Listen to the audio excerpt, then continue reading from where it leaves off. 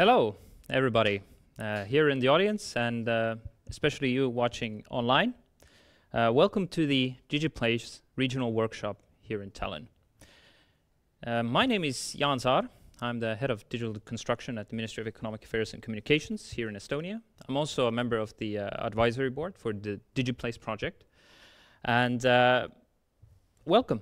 Today is the first day the start of a new school year in Estonia and in many countries around the world, 1st of September. And uh, what better day to pick uh, to learn more about uh, what is happening in digital construction and about an exciting project which is called DigiPlace. If you don't yet know about it, then uh, we will give you a really good overview today.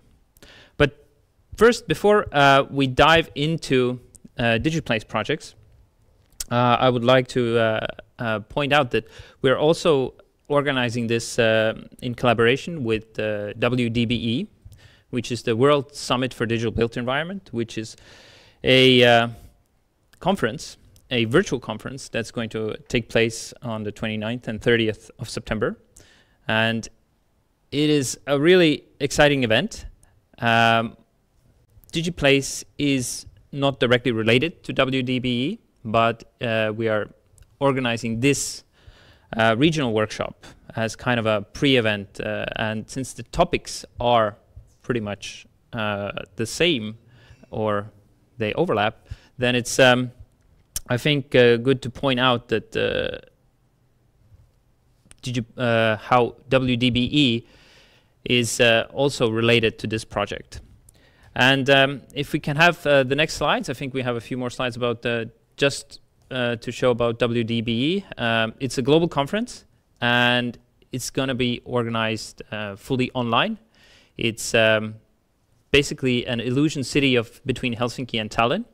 And next slide, please. Uh, and we're happy to announce that actually today a press release went out that uh, we are partnering with Epic Games and we're using the Unreal Engine to create uh, a first in the world experience uh, when it comes to a business conference. So um, check it out at uh. Here are some of the keynote uh, speakers that will be presenting uh, virtually in a virtual environment. Um, so that's that's really cool. So uh, now that we have that out of the way, we can go go on with the DigiPlace regional workshop program here. That's taking place in Tallinn. We have a few people in the audience here, and we initially planned to do this um, as a fully on-site workshop and to have the online uh, video feed as an addition. But since you know the situation uh, around the world uh, and Europe is constantly changing, the new normality, we've kind of had to switch to going mostly digital with uh, you know local people having the opportunity to come here uh, to Swissotel in Tallinn where this event is taking place right now. So the agenda. So we have a very interesting day uh, prepared for you. And um, I will now like to hand over uh, the talk to uh, Riccardo Viaggi. He's from the Committee for European Construction Equipment, and he's all the real reason why this uh, workshop is taking place. So I'm kind of filling in in place uh, for Riccardo, uh, but uh, I will let him introduce DigiPlace, the project himself. So Riccardo, are you online? Hello, good morning, everyone. I am online. I hope you can hear me correctly. Thank you very much, Jan, for uh, introducing me and for uh, allowing me to say uh, a few words uh, here. Um, I am uh, indeed uh, very sorry not to be there with you in Tallinn. I we're all struggling with uh, the current circumstances of, uh, of COVID uh, not allowing us to, to, to travel. But um, we would like to thank uh, all the participants uh, for being uh, in Tallinn in presence and also online. we are, as CECE, is in charge of the dissemination and communication of uh, this European funded project, uh, a project funded by the European Union which you will hear everything uh, by Professor uh, Turk uh, in, in a minute. we are very happy to see many of you either physically or online. This is a, a responsibility of ours to um, communicate about this project, about the action that we undertake, and we are indeed thankful to the ministry, to KIRAHub, and to WDBE, um, as well as to um, uh, the Finnish Association of uh, Civil Engineers uh, for supporting uh, this this event today.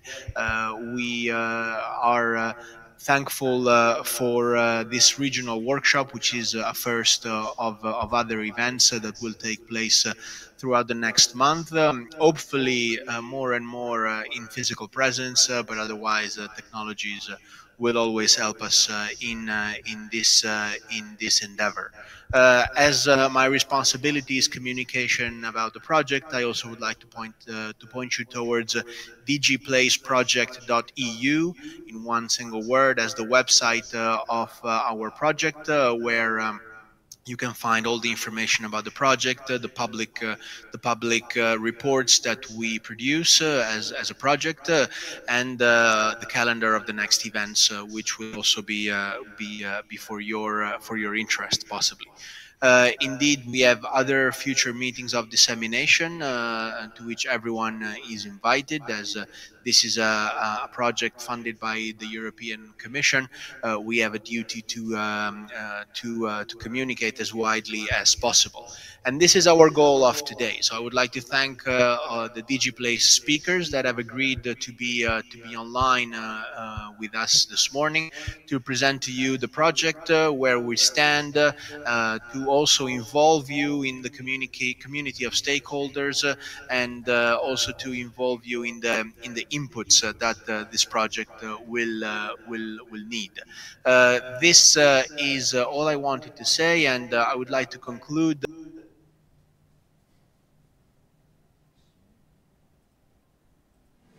Introducing DigiPlace, an EU-wide collaboration of 19 partners from 11 countries, representing the construction industry, academia and national governments, united in a single mission, to build the foundation for a digital collaborative future for the European construction industry. Europe's construction sector is unique and rich in history. It's given shape to our beautiful cultural heritage and provides millions of Europeans with a safe and extensive infrastructure and comfortable homes and workplaces. However, when it comes to digitalization, the construction sector has not reached its full potential yet. The sector's long and complex supply chain makes the implementation of innovation difficult. In spite of several promising national and European initiatives to boost digitalization, the complexities of the EU market have prevented cross-trade and cross-country synergies from taking place. That's where DigiPlace comes in. As the shared platform for innovation, collaboration and mutual learning, DigiPlace aims to provide a solid digital foundation that all European construction players can build upon. Our goal is to integrate digital construction technologies, applications and services, provide best practices and plan a roadmap for the future. What will digital construction look like? How can it energize your production and supply chain? How will it affect your work, market, and consumers? A shift to digital can seem daunting. That's why we are building DigiPlace jointly, brick by brick. All across Europe, digitalization is driving the productivity of industries and services, and construction cannot stay behind. Visit our website and get involved now.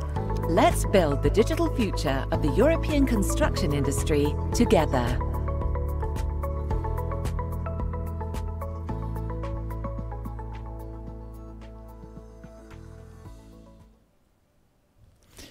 So, thanks Riccardo for the introduction. I think that was a really good uh, video as well to show kind of a brief summary, a glimpse into what DigiPlace is. And uh, before we go on with our next presentation, um, Riccardo, do you have anything more you would like to uh, add to the to the video? Because we had a well, slight abrupt if you allow me just a, a last word, uh, last but certainly not least, uh, I would like to thank the local team uh, of, uh, of technicians and event manager uh, led by Ave that are making possible. That's all. Thanks, Riccardo. And um, we also have an opportunity for all the viewers out there and, of course, the people in the audience to ask questions. we are using Slido to uh, where you can send in your questions and we can uh, we can take them during the uh, presentations. So just go to sli.do. So this is uh, uh, the website for Slido and search for DigiPlace and it will come up as an event and then you can just submit your questions throughout the event. So whenever you have a question to any of the presenters on our agenda, just send it through that app and we will try to answer them as best as we can. All right, so um, can we have the agenda slide uh, once more, uh, so we can go quickly over the um, uh, over today's agenda. So we're uh, we have two sections for today. Uh, on the first half, we're going to talk about uh, the project itself. Um, Professor Ziga Turk is going to present. Then we're going to give some local perspective of what we're doing in Estonia and Finland uh, and how it relates to DigiPlace, this project. And then uh, before lunch, we're going to look at the reference architecture framework. So that's uh, going to be done by, uh, by two presenters. Uh, then we're going to have a 45 minute lunch break. Um, here in, in Tallinn and hopefully you at wherever you are.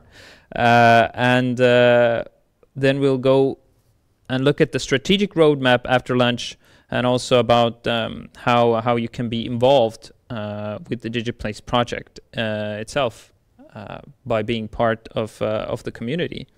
And of course, questions and answers section and, and brainstorming, which we will do before closing remarks. so we should be done by 2.20 Estonian time, 1.20 Central European time. And uh, yeah, that's the agenda for today. But now, uh, hopefully we have Professor Ziga Turk from University of Ljubljana uh, online. Um, Professor Turk, are you there? Yes, hello, good morning from Ljubljana, Slovenia. Um, I'm really sorry, uh, like Riccardo was, that uh, I was not able to travel to Tallinn. I was there about uh, maybe 10 years ago and I was really looking forward to a possibility to visit again. Um, so without any further ado, um, would you just uh, bring up my first slide? And um, what I'd like to do is actually provide some motivation, provide some um, general idea of what the DigiPlace project is about. Some people know me already. Uh, I have been in the field of construction information technology for actually whole of my professional life, uh, last uh, 35 years or so, seen many things. And again, you know, what is happening today, what is happening with the platforms, again, it feels like this could be the silver bullet. This could be the thing that could really push, that could really move uh, construction forward. The brief outline of the talk is that, well, actually the internet changed how we live. Uh, the actual game changers was not just the internet per se, but the platforms and intermediaries. Um, that have changed how we use IT in our private lives. And somehow we feel in the DigiPlace consortium that the same approach, same paradigm could work in construction. There's a change of paradigm. It will be um, demanding. There are opportunities and threats that go with it. The opportunity is empowerment of everybody in the value chain. Uh, but the threats are also, you know, who will take control of this, um, who will be, who will reap the benefits. And strategically, there has been a decision by the European Union that the EU needs its own industrial platforms. And what the DigiPlace project is about is to chart the way towards a European industrial platform for construction. Next slide, please.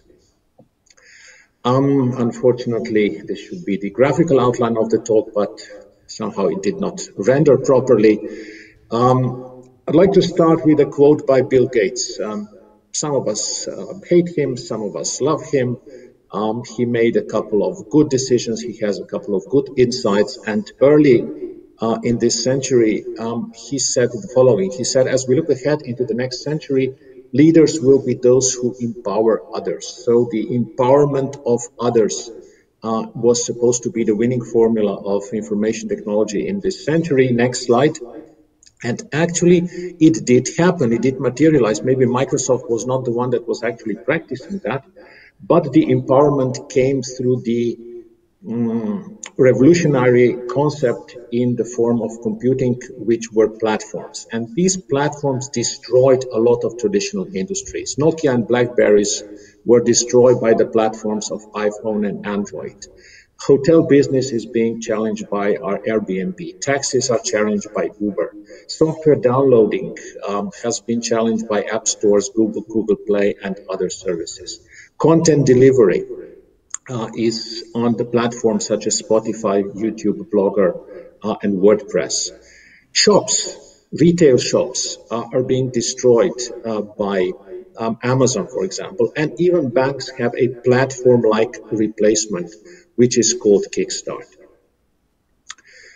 There were there are some uh, elements of the industries where platforms were successful.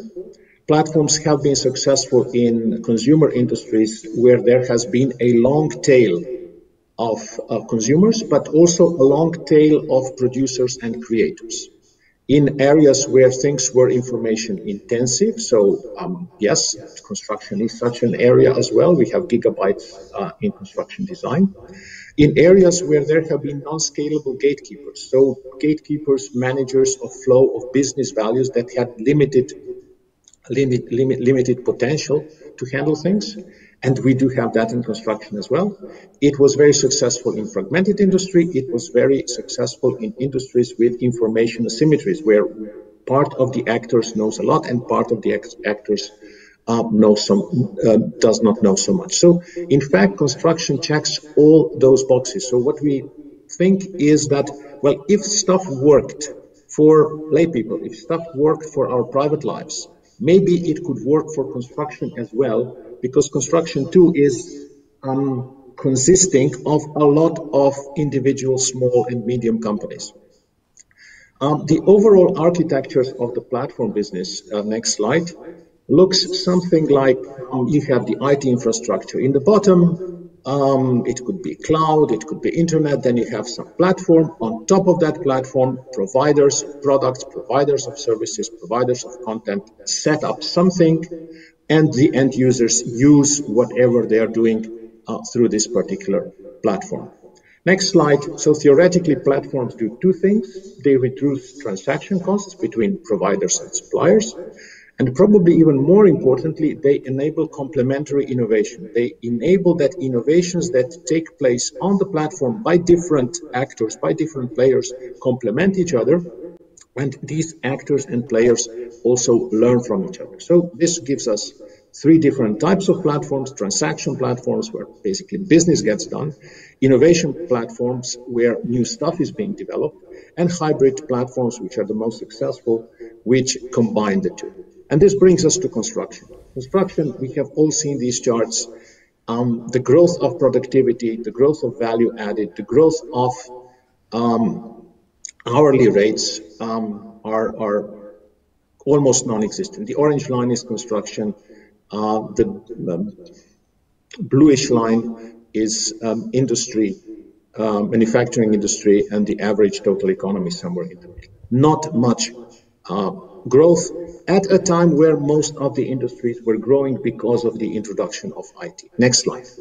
But the situation is not actually uniform.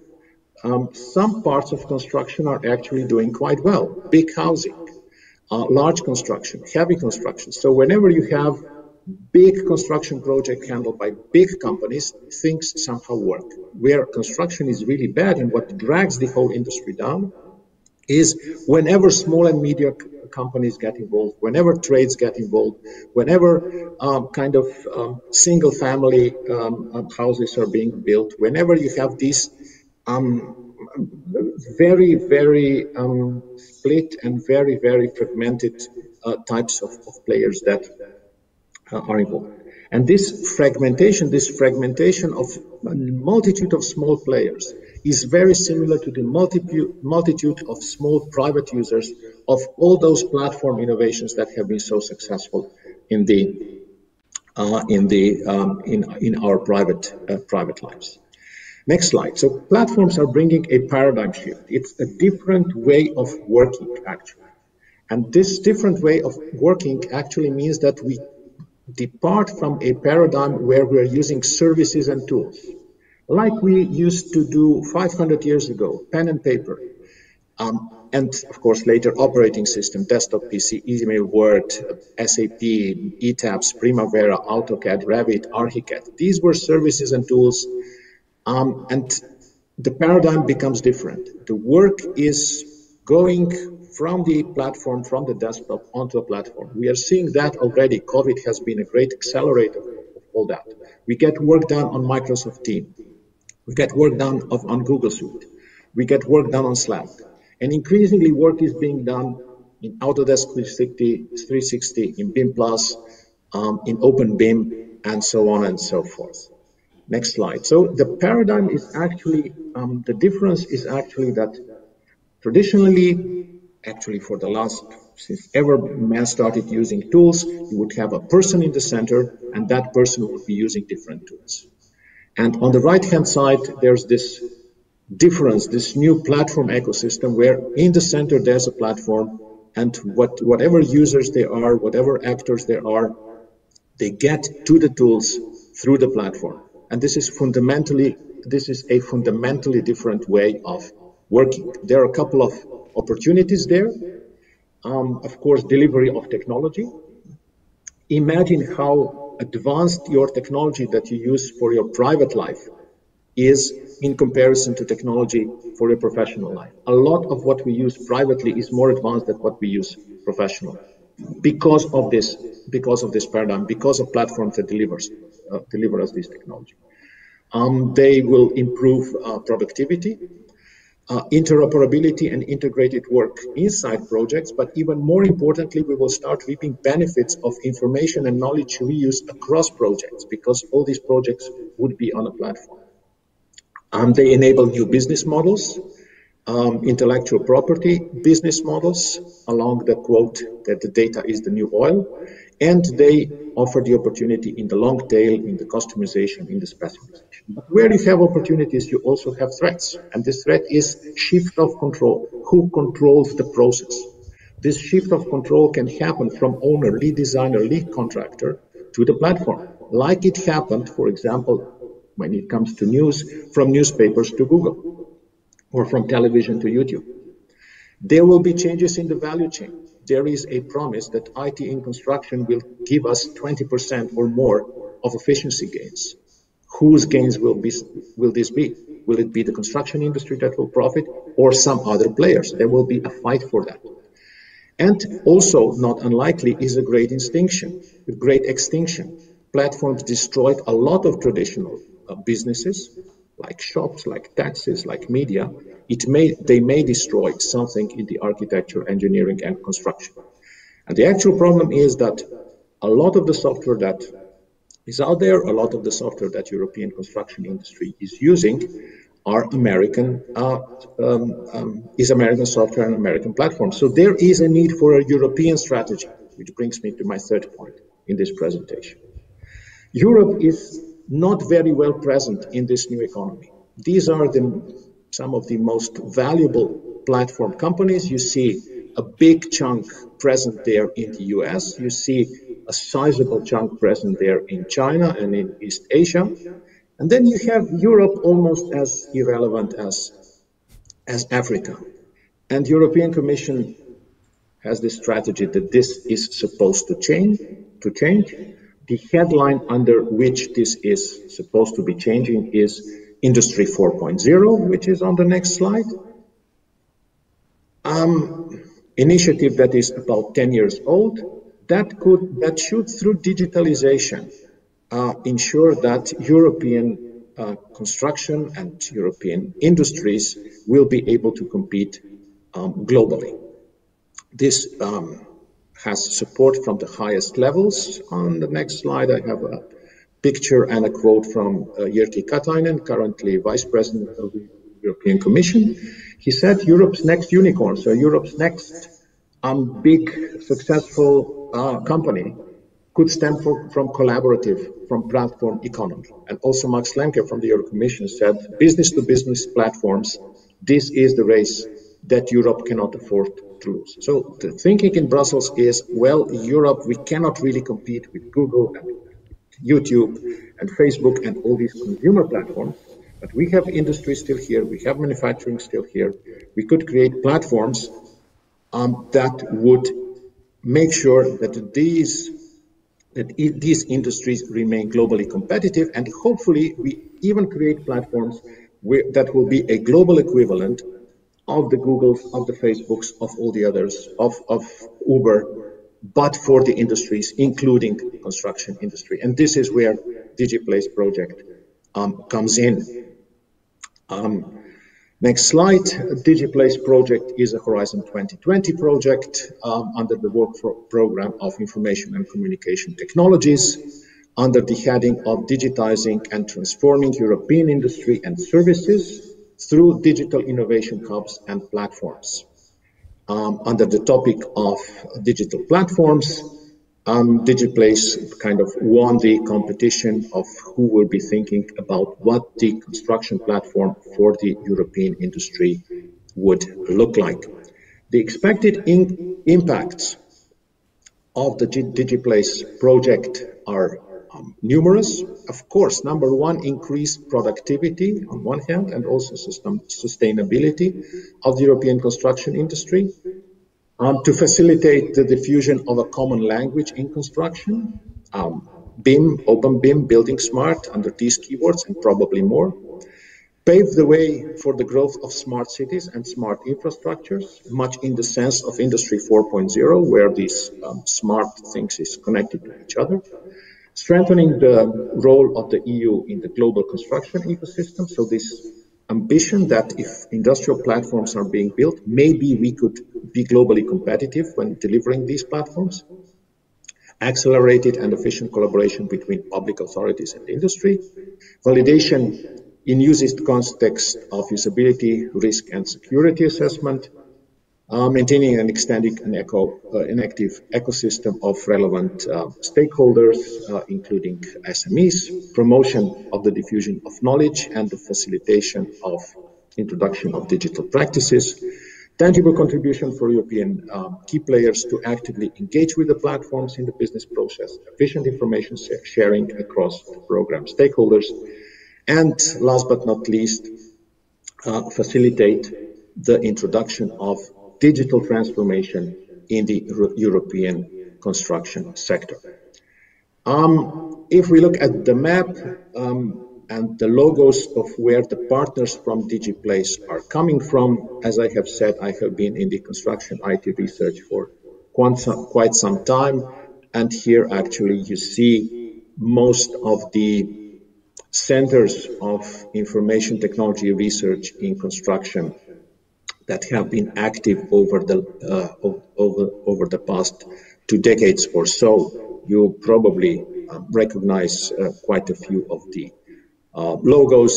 Um, indeed, maybe the Central Europe is not so well represented, but there are there is more than just the partners of the Digi DigiPlace project. DigiPlace is an open project. You could call that DigiPlace is a kind of a platform of a project where it tries to integrate, it tries to bring together not just the partners, which are many, which are 27 or something like that, um, it brings in also the linked third parties.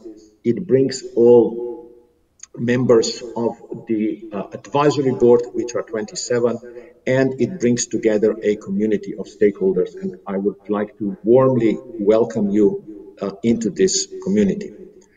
Um, as far as the advisory board members is concerned, I think anyone, anything that is um, of, of um, of, of, of note, uh, of prominence in European um, digital construction is present here, including general consultants like McKinsey, uh, which tells you that these general consultants have discovered that construction could be the next big opportunity for them to, well, expand their business.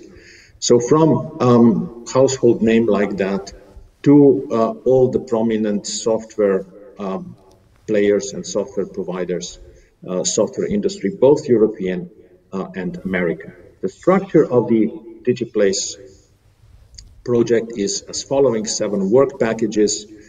Um, work package one is project management, so perhaps not so very interesting um, for you uh, work package 7 communication and dissemination. So this is what we are actually doing uh, right now.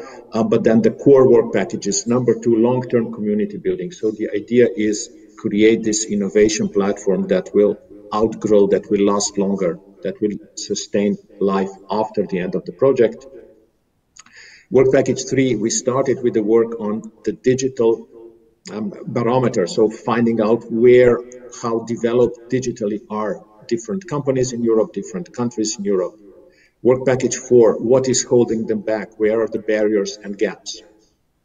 And we suspected that from the beginning, and it is showing now through the research. Um, platforms seem to be the answer, the solution, um, and that will overcome many of the gaps and barriers which are being identified. Probably the core work is to define a reference framework architecture of this platform. So of what parts, of what pieces, how should these platforms look like? DigiPlace will not develop this platform, but it will bring together probably basically an agenda. What should happen in the next framework, in the next projects, in industrial development, so that we will get to this platform and it will create some boundary conditions, some requirements, how this platform should look like so that they will fulfill um, the, the requirements um, set up in uh, previous work packages. And finally, strategy roadmap. So how do we get from not having a platform to having globally leading platforms and also local platforms in the European construction uh, industry? The highest level objective on the next slide, the highest level objective of the DigiPlace project is to create a reference architecture framework. It's called RAF. There will be presentation on that, presentations on that um, in the remaining um, of this of this uh, conference. So, reference architecture framework for the digital industrial platform for the construction sector, based on shared consensus along the entire chain. So these platforms, the idea is they have to um, bring everybody in. And this is what this project is trying to do. Find the needs, the desires, the scenarios um, from companies, big and small, from west to the east uh, of Europe. I have been um, inviting you warmly, and I'm repeating that, uh, to the community of stake stakeholders. This is the QR code, scan it with your phone and get involved. We are looking forward to comments, contributions, suggestions, criticism. Um, we, as I started with Bill Gates, um, DigiPlace can empower you to bring your ideas to the table and make sure that your ideas are heard uh, over the um, over the course of development of these platforms. So to conclude and to give some way forward, um, the platform model is coming. It has been very successful in end user activities. It will improve efficiency, no doubt about that. It will improve productivity, but who will reap the rewards? We cannot, you know, just push out and squeeze out competition from Europe uh, through the legislative actions of the European Commission and through some kind of not quite competitive behavior. We need industrial strategy um, that will make sure that innovation happens in Europe, that platforms are developed in Europe, that European construction industry is globally more competitive because of that. Hopefully, even the software, European construction software industry is um, able to contribute something to the global market. Um, and DigiPlace project is charting the way forward uh, into this direction. So with this, I would conclude this presentation. And if there are any questions, um, I have I see one question in the in the Slido, which is what is the cost of the DigiPlace project? Probably the you mean the funding. I think the funding is, if I remember correctly, order of magnitude of 1 million euros spread over many, many partners. I think this is one of the project projects where the European Commission is getting the best value for money because the quality of the reports, the amount of reporting, the studies that the partners are doing, I can tell you this also for the University of Ljubljana.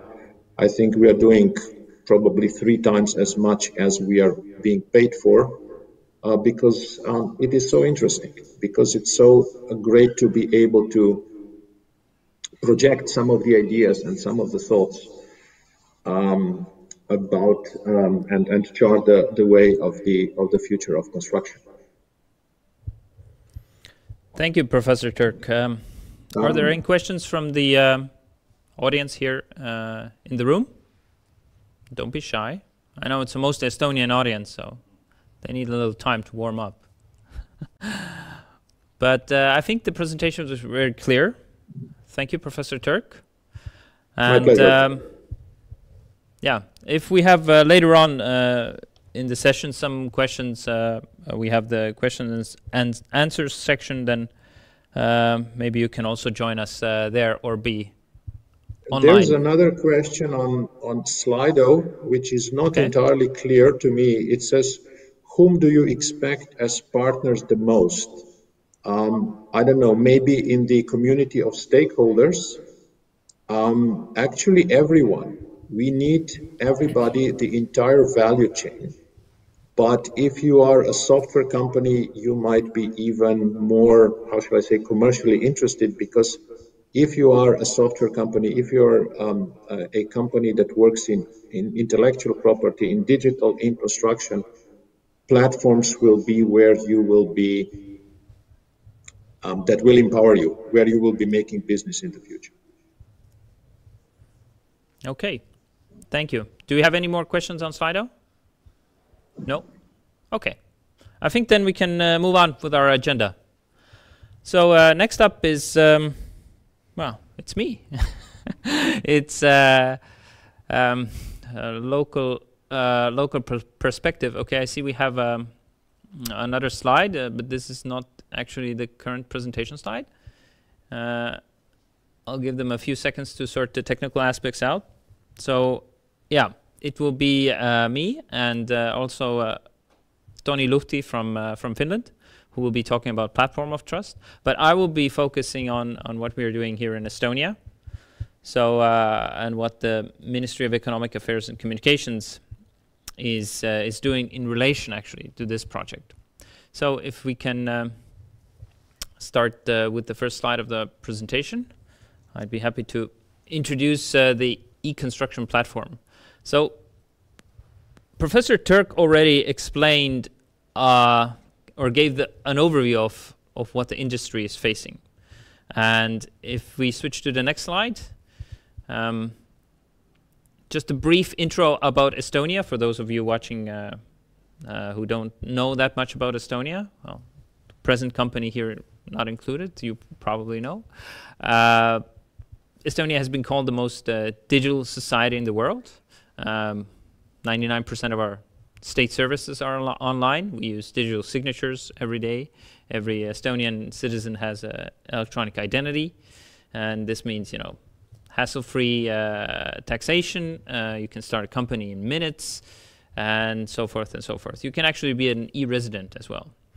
And regarding the built environment, we also have um, a fully digital building permit process.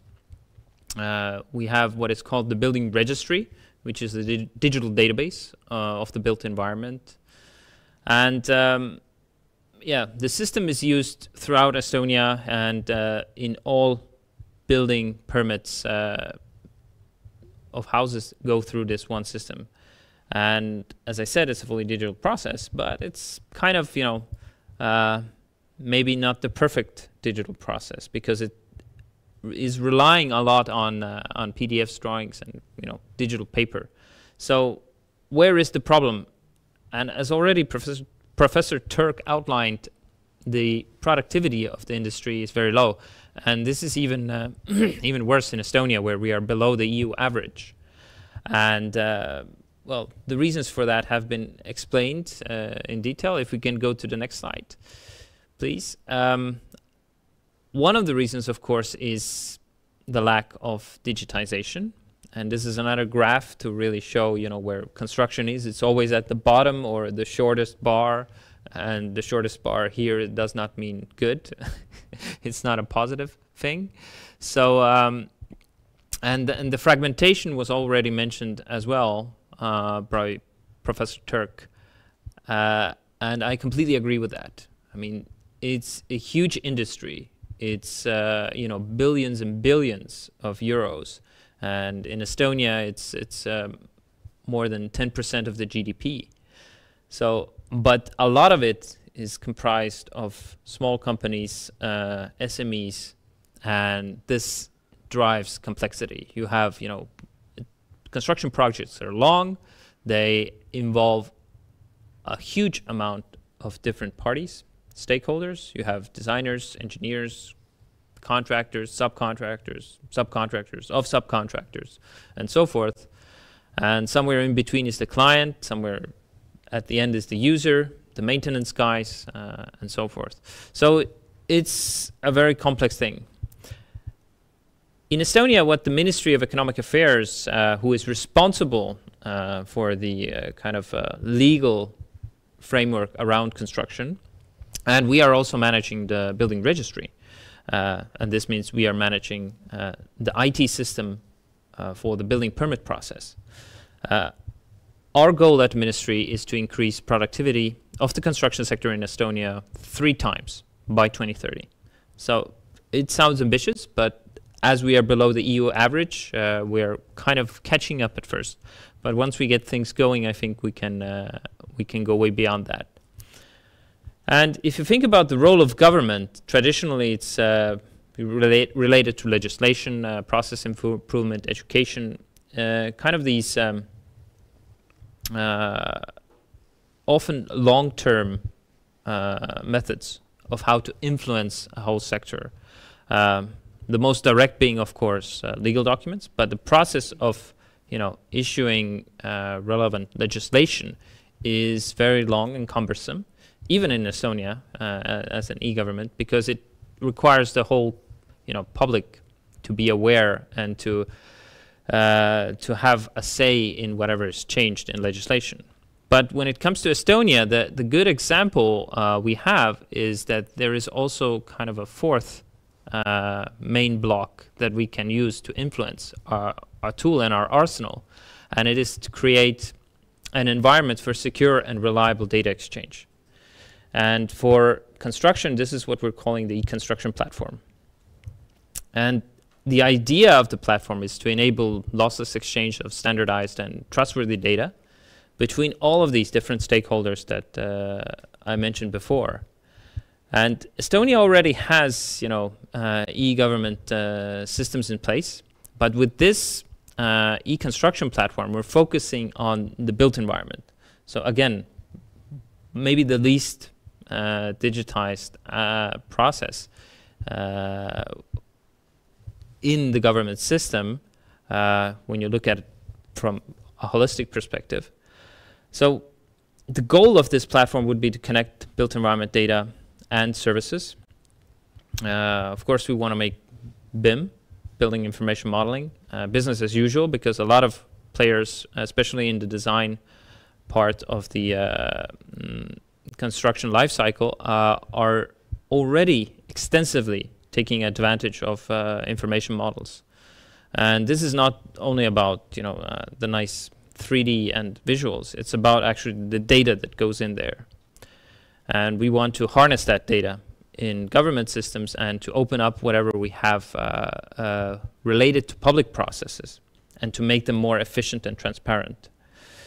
But the most exciting opportunity is, uh, as well as I think is with DigiPlace itself, uh, as it provides a framework for, uh, for platforms, is that we really open up the market for new products and services. And on one hand, our job at the ministry is to you know open up public services, create APIs to make them accessible. Uh, but this is all to enable you know the industry players who are actually creating the value uh, to take advantage of whatever uh, government data we have, public data we have, uh, and to combine it with their services. So essentially, it's an integration platform, uh, and uh, it doesn't have uh, a centralized or master database. So this is the kind of essence of how the e-government infrastructure in Estonia is working. So we're leveraging, you know, the existing systems, what is called X-Road. Uh, we want to create an open platform uh, with APIs, and uh, an integral part of it is also the digital twin. But if we go to the next slide, so for for uh, for speeding up uh, my presentation. I've skipped a few animations, so uh, uh can we go back to the last one? Uh, what you see here is kind of a representation representation of a of a classical breakdown of you have database, services, and the user interface on top. So the services, it's tough to see from this slide right now, but uh, behind the e-construction platform, there are several different services. And there's uh, building registry services, there's uh, utility network services, uh, digital twin, other public sector services. And we are building the e-construction platform uh, using a microservice architecture. So each service itself is uh, mostly independent, communicating via APIs, with several databases which are distributed in different systems.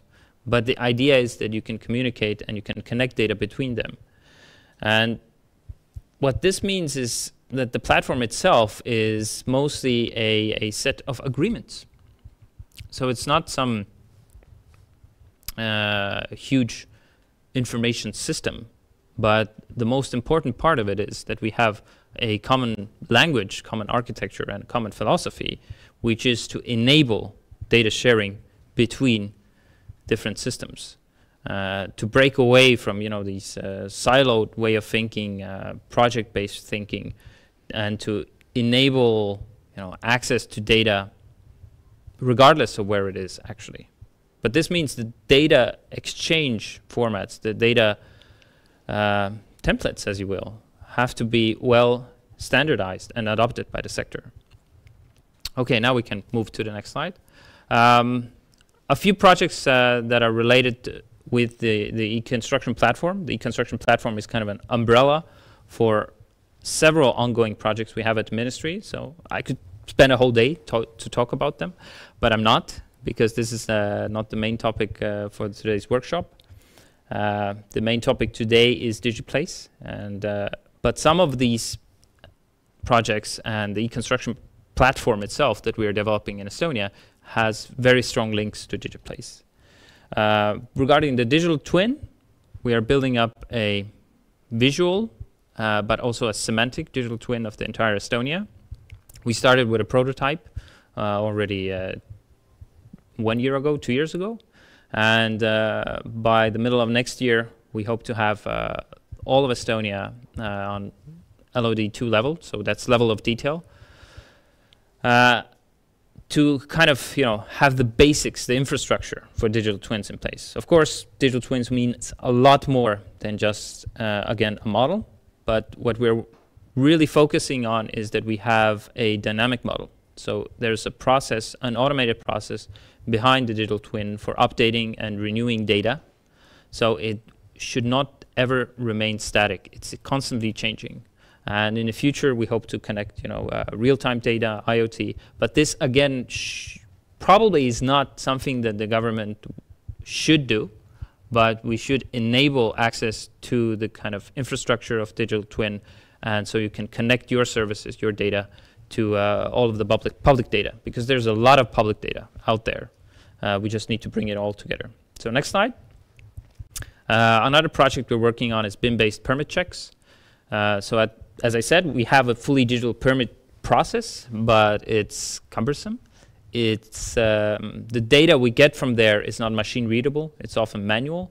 Uh, we hope to change that by utilizing uh, building information models, uh, using open standards, IFC, which is uh, well the most used and the best we have at the moment. Um, could be better, of course, but uh, we are emphasizing uh, open formats because we want the development of these formats to also speed up. If we're not using them, if we're not implementing them in government systems, uh, then we are essentially, you know, uh, kicking the development of, uh, of these open standards uh, in the leg.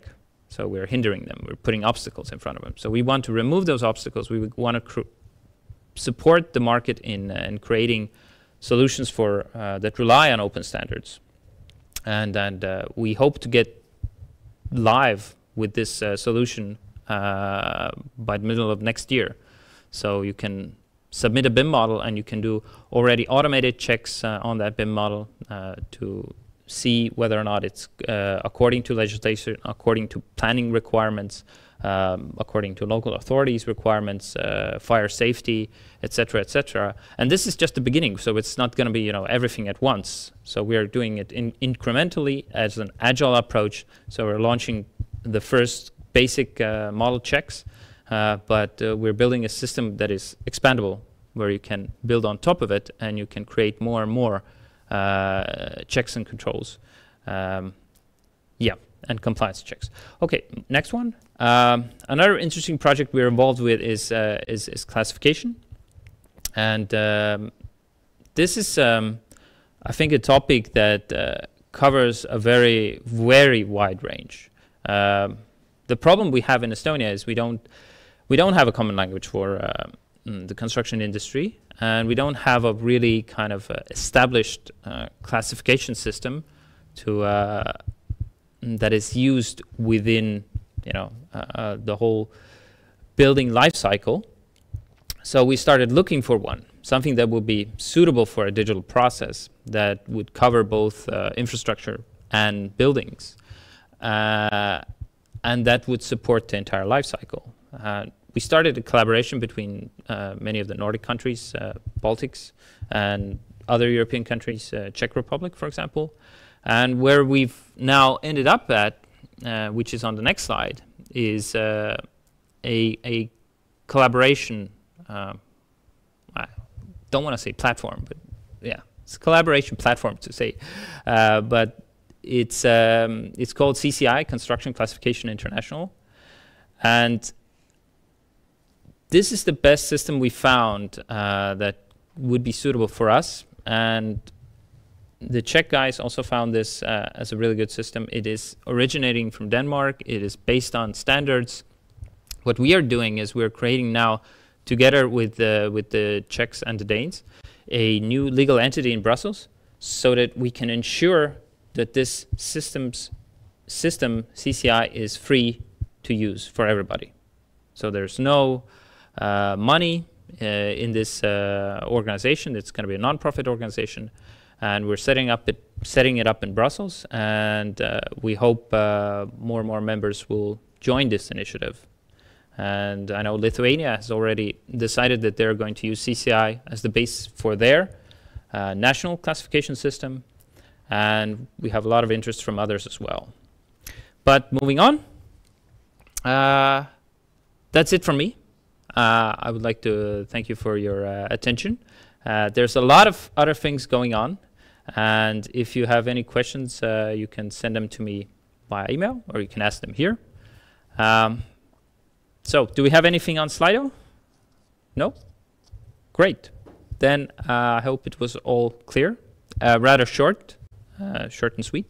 But now I would like to see if Tony is online. Tony, are you there? I'm here. I'm here. Great to hear you, Tony. So how's uh, how's the weather in Finland?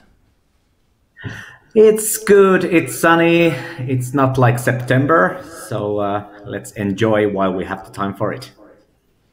Great. But uh, I would like to hand over now the uh, uh, the presentation to you. So take it away. Wonderful. Thank you so much. Uh, I guess that I have my slides also available to be showed. Let's wait the technical guys to make happen. Yeah. Changing.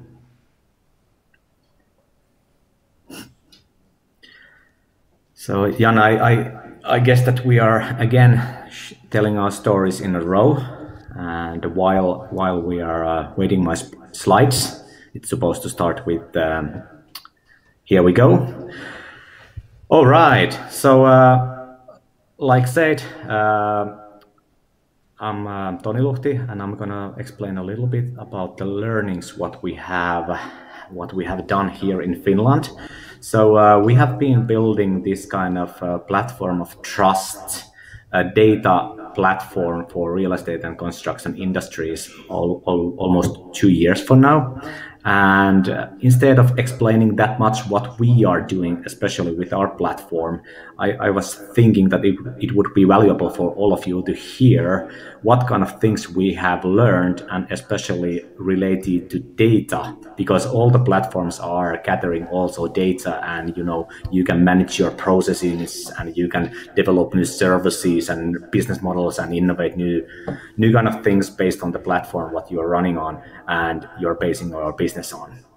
And uh, typically when we are discussing with companies, and I'm not saying that small or mid-sized companies, but I'm, I'm saying that most of the enterprise level companies, you know, who have been working on the real estate and construction industries uh, for years, and whenever they are actually thinking about the digitalization or data or platforms, they are thinking about the examples what the media and the and the you know typically presentations are providing like a netflix or uber or whatever who are utilizing the modern megatrends technological megatrends in their existing business or creating new business models that are disrupting the existing industries. And by why i'm saying that is that typically typically when we are going to discuss with the companies and whenever we are starting to talk about digitalization, they are saying, hey, we, we purchased an AI solution. So we have a digital strategy, or we are building up our own platform. So we are actually making this all digitalization happen, and it will be, you know, a staple part of our existing business model and so on. But actually, that's quite challenging and costly. It was researched already that uh, one platform development costs around 3 million euros. And thinking about the DigiPlace project here, I'm guessing that it's a pretty reasonable decision to do this together and you know help the entire industry to actually digitize, digitize the entire industry and making it beneficial for most of the companies. And from that point of view, I, I think that the low hanging fruits and the most reasonable starting points are actually the, the ones who we can already imagine. And from that, that point of view, whenever we're discussing about, you know, which kind of companies do have data, and and typically the answer for that question is that hey, we have we do have data. We are finding, you know, from our sales solution management or whatever CRM system we may have, we are saying that, hey, we are checking from the data how much sales we did on last month. And is that really, you know, modern way to use data that your platform is gathering? No, typically, actually, you need to ask how much sales we are going to miss on next month because we are having too many internal meetings. But these kind of questions cannot be answered by the data because we don't have the, all the data available. And from that point of view, platforms are in the, in the core of all business models because platforms can actually gather all the data from all these individual sources and make it available for your decision making solution and so on. So uh, may I have a next slide? So this is typically the way how it's how it starts for the companies uh, who, who we are interacting with. So the top-down model. So let's say that there is a technical persons who are saying that we have the most latest and most modern AI solution available. So then the business decision guys will start to figure it out where we can get the data that we can actually feed to the AI solution. And then they will actually, you know, get down to the question what must be integrated? What are the, all the data sources? You know, during 2019, there was all over 4 billion new devices connected to internet. And all of these IoT devices and new, new smart devices are producing more data. And at the same time, you know, one integration costs uh, over 15,000 euros in Europe, and it takes up to 20 to 30 business days to make it happen.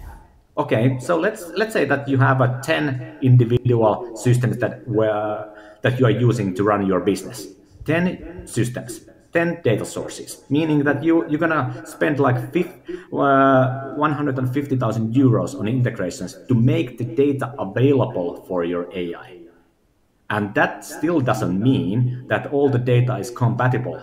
Meaning that if you are buying the solutions from US or China or uh, uh, European countries or Euro European service providers, they will definitely use different standards, different data models. They are mixing dots and periods on their data models, and you know some of them are talking about gallons and feet, and some of them are talking about uh, centimeters and liters and so on. And you, you're gonna waste a lot of time. You're gonna waste your entire business case on integrating these new data sources and making the data compatible, and also, you know, trying to understand what kind of questions you're supposed to do towards the data. And typically, the questions, like I said, are not that sophisticated, meaning that there is no competitive advantage coming from the data, or if you are not able to evaluate the business case for the data, then you're going to integrate only the sources that are essential for you to make your business decisions somehow reasonable. And on that point of view, there is no new understanding created by the data because only the limited amount of data is available. So can I have a next slide, please?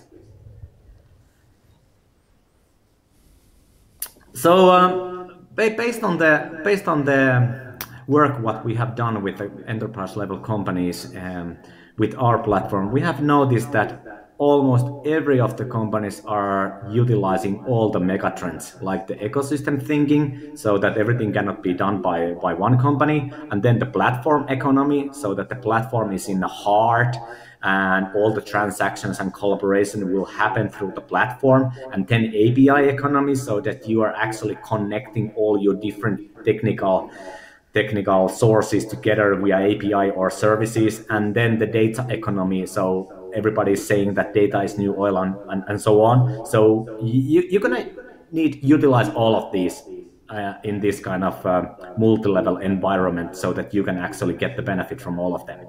And because there was 4 billion new devices connected to internet and you already have a, you know many smart sensors and data sources and applications and whatever available you need to be able to connect them all so that you can actually benefit from the data and create new knowledge and then you need to take care of the data models and then security nowadays and then at, at, at that point, when you have done all this, then you are able to utilize actually the digital twins and and AI solution or VR or whatever. And this is a pretty big project for all of all of you guys individually. So what I'm saying here that the DigiPlace project in general is a brilliant idea to make this all together. And can I have a next slide, please? Thank you. So when when when the DigiPlace project is actually helping to create this reference architecture so that everybody don't have to reinvent the wheel every time when they are thinking the same questions again. And whenever whenever you have a different a different business model or different you know need business needs you you can solve these needs and requirements with the with the same architecture and with the same thinking. Like i just previously described all of the companies are ending up to the same kind of uh, overview of the business model of the business stack, how I, I would say it. And uh, on, on the last slide, I wanna I wanna describe what we are doing. So uh, we are doing we are doing this platform of trust solution, and we have three value propositions. Uh, first of all, we have the self-service tools for integrations, meaning that instead of spending this 15,000 euros, you can actually connect all your data sources in few hours or few days instead of weeks or months. And it, it, it will be cost free because it's built in on our platform. And then then the biggest part on the data harmonizer uh, typically smart cities and the big environments like stadiums and libraries and shopping malls and whatever are spending tens of days or uh, you know can be a month in a year to actually manually harmonize the data to be able so that they are able to utilize the data in their other solutions. And then the last part, which is something that the US companies are not doing either, is the trust engine. So we have made a research that there is 16 individual factors how you can evaluate the trust index for your data and by that I mean that if you are making, a, you are using the world-class AI solution and you have a best of the best algorithm and you are feeding all your data for that algorithm in the future, make the business decisions. What happens if you cannot trust the data and you have no mechanism to actually raise the red flag? Hey, hey that this data looks bad. It's it's old. It's it's corrupted or it's coming from the wrong sensor or whatever you know factor you might be failing and from that point of view if you're running a business of 10 million or 100 million euros and you are making an automated decisions based on the data you need to be able to trust it and this is the one of the key learnings what we have learned during past two years that almost none of the companies are actually taking focus on how much they can trust on their existing data. And all the platforms are actually producing and generating more data that you can actually own and use and share with your stakeholders and ecosystems and partners. But what if it's not trustable. And that is the key question that will pop to everyone's mind in next three years. And with the DigiPlace project, I think you know we can all solve this kind of issues together. Thank you. Thank you, Toni. Uh, I think uh, the the platform of trust is a really, really interesting uh, project you're running. Uh, we have a question on Slido um, for you. Uh, is the Finnish government also involved with the platform of trust development? Uh, yeah, yeah, we are getting. actually, we got 19 months ago a five million euro funding from Business Finland, which is which, which is an institution in Finland, and also for four weeks ago, we won a deal over 2 million euros to enable smart city projects in Helsinki, Turku, and Kuopio, which is of course related heavily on the government and gathering all the data from the from the smart cities. Okay, but who is behind the platform of trust initiative? I understand it's more coming from the industry, right?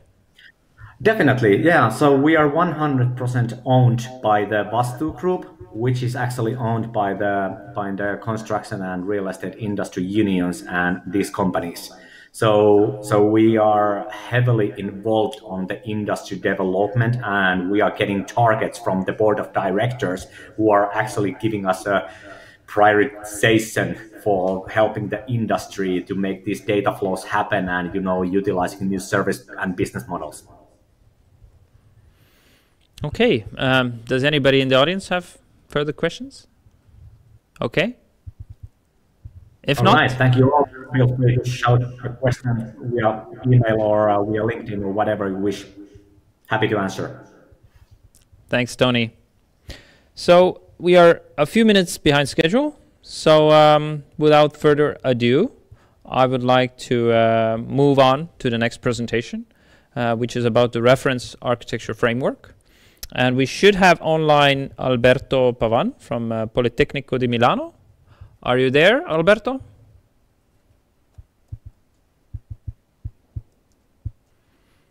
So we're doing a quick check to see if he can uh, he can hear Hi, us. Hi, everyone. Good morning. Good morning, everyone. Do you listen me? Yes. Hi, Alberto. So you are uh, tuning tuning in from Italy, right? Yes, from Italy. Okay, perfect. The floor is yours. Uh, if I uh, could have uh, the first slide, I present you the work package 5 uh, to the reference uh, architecture frameworks, uh, the beginning, and after I give the, the floor to Nicolas to the analysis of the work package 5. next slide, next slide, please. next one.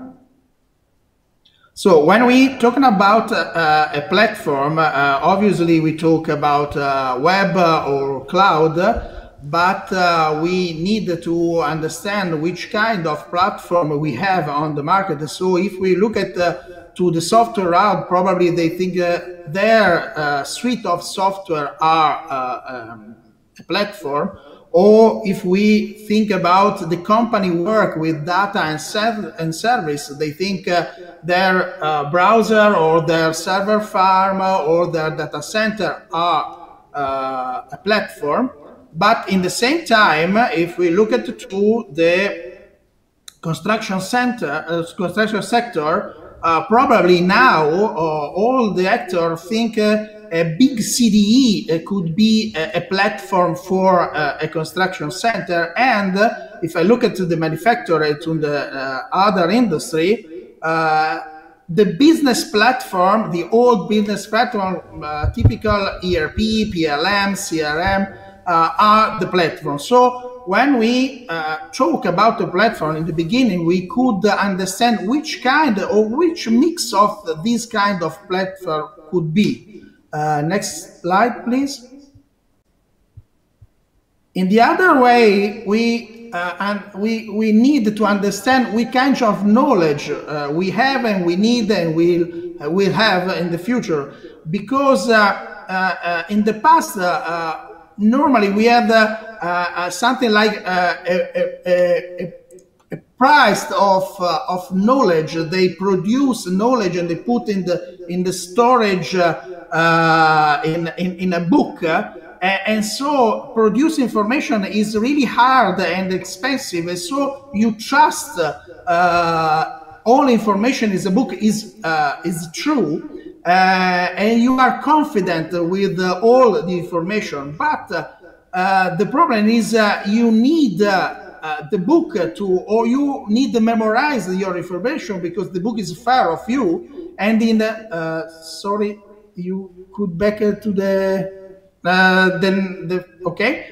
But now we have a different world with the digitalization. So you have uh, a, an access, your smartphone is an access to all the information. So you have, uh, you don't need to memorize the information because you could have uh, instantly, but you could add all kind of instantly. And so all the information could produce any users and any uh, consumer. So you don't be have to trust in this kind uh, of information. What say before then um, the, the speaker uh, talking before the me. And uh, what we have to uh, look at uh, in the end is the value of this uh, information because the information a have a different value, but this information is not good if uh, is a value only for who manage this information. If you want a platform win to win, we need a lot of information,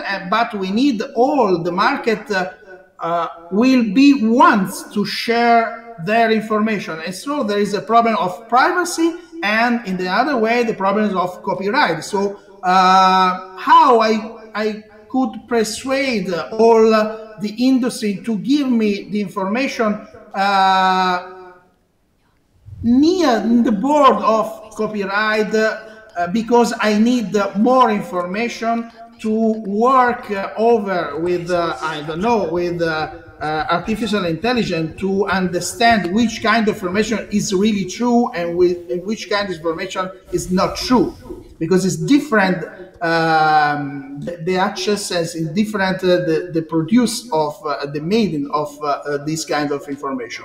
So the next the next slide please so in the starting of uh, uh, of the um, DigiPlace project, when we uh, do uh, when we write a course, uh, we think uh, one flow of information starting from the market, going probably to the national platform because France have a Kroqi, UK have um, um, have NBS, and so probably the flow is the market uh, information going to the national platform and uh, all national platform, the future national platform go to uh, the European platform uh, and back to the market again. And in the next uh, slide, please. The other flow is uh, the flows information coming from the user and so from the actors and filtered by national and European information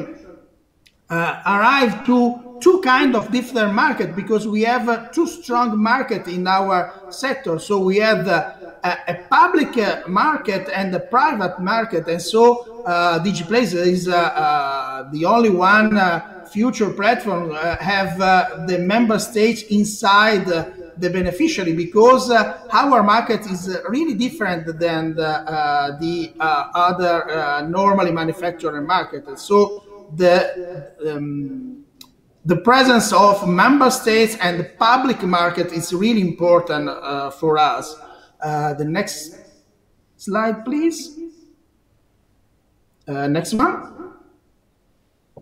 So we try to uh, understand this word and uh, to understand with, with, this word we make a, a, a big uh, brainstorming uh, to analyze uh, the problem. So in the bottom the digital integration what we need uh, in so, sorry in the, in the bottom the level which kind of level? Europe national single building single product and so on. And the focus, the fourth focus is language, rule, market, uh, and uh, market and products and servers. Next slide, please. Okay, this is a, a, a big map uh, of uh, any idea we uh, have to look at to understand which kind of platform probably will uh, we make a reference uh, architecture. Next slide. Starting from language and rule. So the language is natural language and uh, IT language. So we need probably a domain and probably we need a new ontology, but and so semantic web, linked data, and so on and so on. But in the other way, we need the operational collaboration of uh, the IT, and so we need uh, which kind of open language from coming from IT. And uh, in the bottom, the rule, we have the standards, so the technical rules and the law, uh, and so the importance of member states. and we need to integrate uh, uh, the standard and the role, we need a new accessibility uh, of the standard and role, and obviously we need uh, to check uh, what all the uh, sector produce to standard and to role. So we need the requirements, but we need a computational requirements where the machine could understand what we will do and could correct what is wrong or not. So all the problem is not only clash detection typically of uh, our sector, but the real new way is uh, code checking. So how the machine could understand the rule and the standard and could checking uh, the rule and the standard automatically uh, to all the sector produce in terms of the product, in terms of uh, in terms of uh, design too. the other way is a product service and market. And so the product service, the industry and manufacturing, building, doors, uh, uh, uh, and so on, and construction sector, uh, build, uh, oh, sorry, before windows, doors, and so on. And uh, in construction, the, the builders, building and infrastructure. So we have an object of our market but we have two markets we saw before, public and private, and so the subject is different subject, is the public subject and private subject, and they mix the object of our sector to the subject inside the action. And so probably uh, we need uh, a new to have uh, in, in the in the in the other right a digital object of our uh, sector. We need a new class and new attribute. So uh, a contract is uh, a, a class is an object too, like a window, uh, and a worker is an object too, like uh, a, a window or like uh, a, um, a, contract. And so we need to produce a digital twin of the asset uh, of the asset, so the asset model, and we need uh, to updating all kind of data because we have a, a strange product with a, a, very long life cycle and we need uh, the data not only in three years uh, the, the normal life of a new product uh, of manufacturing three five years but we need data coming uh, and and operating in 100 years in Italy 500 1000 years uh, and uh, we have an, any kind of different uh, farm because uh, our products is our farm. So for us, Industry 5.0 is really particularly uh, approach because uh, we work inside our product for a long time, for 100 years, for 200 years, for 500 years, because we make a renovation, uh, refurbishment, uh, manufacturing, and so on. So uh, a data from uh, industry 1, 4, uh, 4.0 for us is really different than uh, the manufacturing. Why in the in the in the in the last uh, the digital integration when you think when we think about the digital integration in our sector we obviously we're talking about open data and so buildingSMART and W3C but uh, we have to talk about uh, which kind of database we need. So we need a related database, or we need an object database, or we need a graph database because we work with uh, big data.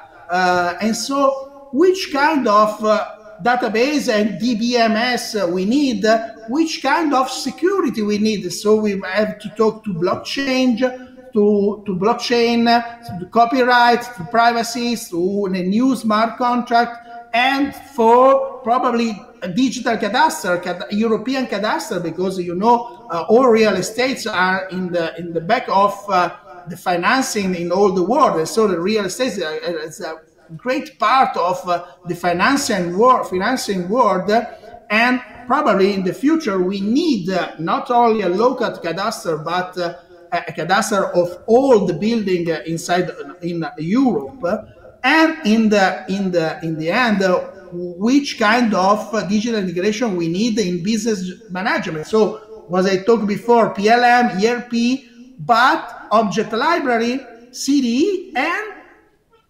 GIS, because our products stay over the land or stay over a land in a different border, so in the different country infrastructure. And so our platform is a building platform, is an information in uh, infrastructure platform, but is a GIS platform too.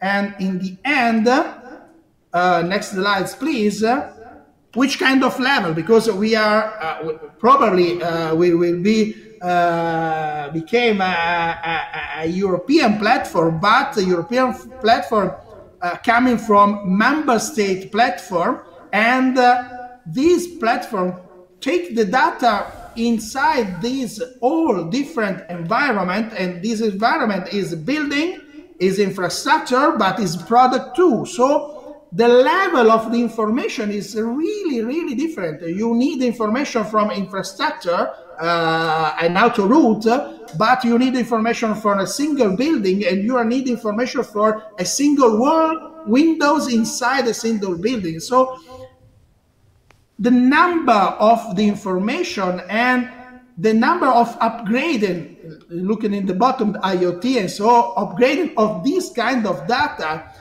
is a lot and and is shared in a lot in a long, really long time. So our problem is uh, our project have uh, really a long cycle life. Uh, different than all the other uh, industry and the uh, manufacturer too. So to look at what this is the brainstorming, the, the starting point, and the analysis uh, to, to look at to the analysis we will do and we and now we we, we, we do uh, I, I give the floor to Nicolas Naville. Nicolas, are you there with us? You hear me? Yeah. Yes, we hear you. Okay. Good morning, everybody, and thank you, uh, Alberto, uh, for introducing all these key concepts for the reasoning about uh, platform architectures. Uh, I'm Nicolas Naville from CSTB in France, and we are leading uh, the work package 5 of the project, uh, which is about defining the reference architecture framework of DigiPlace platforms. Uh, so after this presentation by Alberto, I just wanted to take one step back to uh, explain to you how we are currently proceeding to define this reference architecture framework. So uh, next slide, please. First of all, uh, introducing uh, the main outputs uh, of DigiPlace project. they are structured along those three pillars, which are first defining the key use cases and high-level specifications of the platforms, then defining the reference architecture framework, and then the last work package of the project, as introduced by Ziga, will be defining the strategy roadmap of DigiPlace. Uh, to put it in simple words, uh, the specifications and use case analysis, uh, no, back again, please. Uh, the use case and specifications is about defining the vision of the digital transformation of the European construction industry in order to achieve the core objectives of the digital transformation. Uh, so this is a little bit, yes, uh, the, the, vision that needs to be defined and also shared among stakeholders, which is also a key aspect of the project, reaching uh, a shared consensus. And then the reference architecture framework is the required architectures that we need to support this vision in terms of digital tools, services, and platforms, in terms of interoperability, data and knowledge sharing, and so on and so forth. And then the strategy roadmap will be defining how to get there from the current situation in terms of research efforts, pilot projects, regulations, deployment of new services, and most certainly uh, required uh, European calls uh, in the following years. Next slide, please. So let's focus on this reference architecture framework and what it's going to be. Uh, as was already discussed uh, extensively in the project, we are not only building a new European website, uh, let's say it like that, but rather defining a, a, comprehensive set of common guidelines for building, implementing, and deploying digital platforms for the construction sector across Europe, uh, be they public or private, local or European. So it's more like a meta platform than just a, a single platform. And these guidelines uh, can be of different types. We will have general guidelines for implementing digital platforms about interoperability, using open standards, data security and privacy. We will have a referential of tools and services to be developed or generalized in order to support key use cases. And certainly we will also have a special focus on required public services and regulations, uh, both at uh, EU and member state levels. Uh, and uh, as part of this third category, we could propose to have a proper European platform, and that certainly will be part of the output of DigiPlace, but not the only output. Next slide, please. Uh, this is just to remind you how uh, this definition of uh, high-level specifications and the reference architecture framework uh, are based on the previous uh, works of the project. So mainly the work package 3, which was about analyzing the existing platforms and the level of digitalization. And work package 4, which was about, and which is still about, uh, understanding the needs and expectations of stakeholders, particularly SMEs, and trying to identify the measures that are necessary to mitigate the barriers of, uh, to digitalization. So we are using all those, uh, all, the outputs of these uh, previous works. Next slide, please.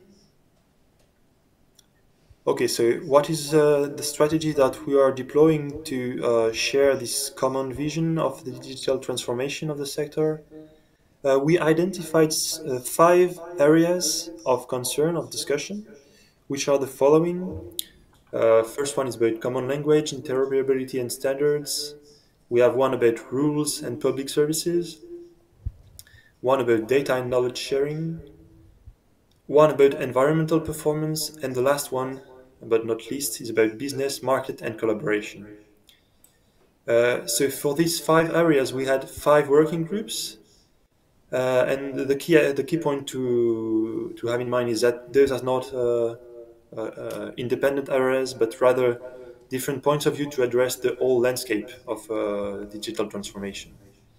And in terms of structure of uh, our work, for each area we identified several topics, and for each topic we have several use cases, or some sometimes they are not proper use cases, but rather subtopics, because it's not easy as we have such a wide uh, uh, landscape of uh, issues to address. It's not always possible to go down uh, to the scale of the use cases and to the level of details required to describe use cases. So next slide, please. Just to give you an example of uh, the way we are working, we are uh, reasoning at the same time on the construction sector use cases and this vision of the transformation of the sector and on the required architecture to support this or on the reference architecture framework guidelines that will be uh, proposed to support these use cases. Uh, so I have an example on the on next slide, which is uh, about one of the key uh, use cases that uh, Jan talked about for uh, Estonia platform e-construction is about digital building permit. So this would be the use case. For example, digitalized building permit application using BIM models and automated rules checking. So this is the use case. And we will be thinking also uh, in terms of uh, guidelines. Uh, here are just some examples.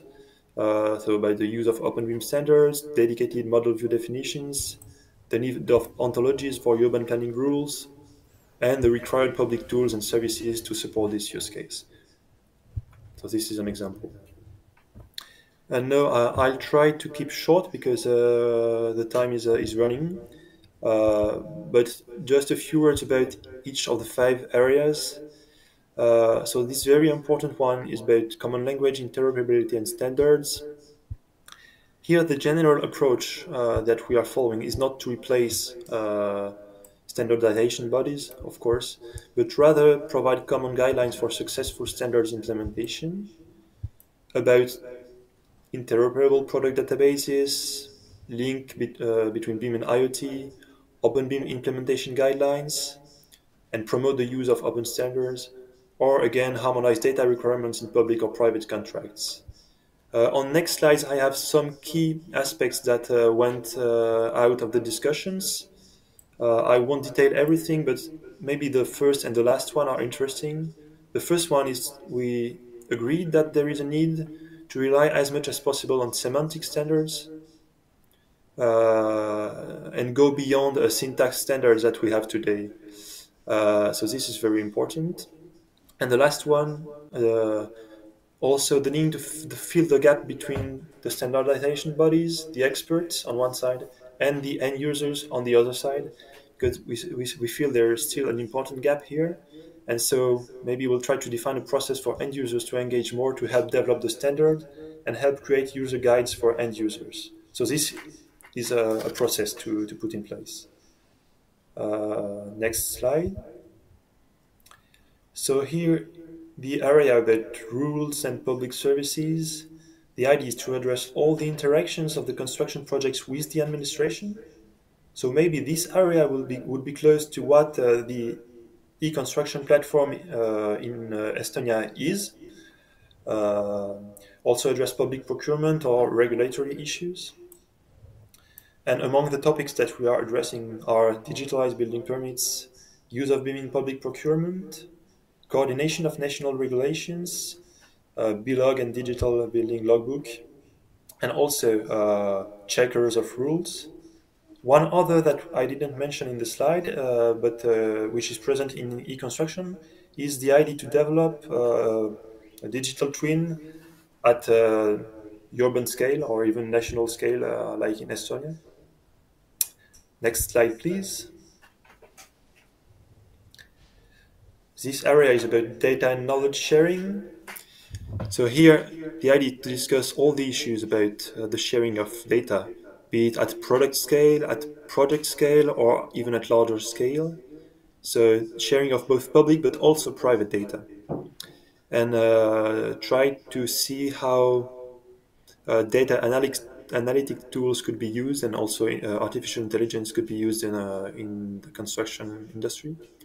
We're also addressing uh, best practices and knowledge transfer, and particularly about uh, digital processes. Next slide, please.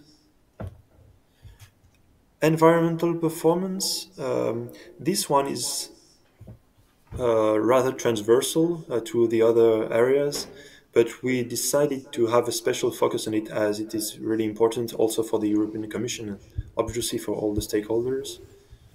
So we have a strong overlap with other uh, areas.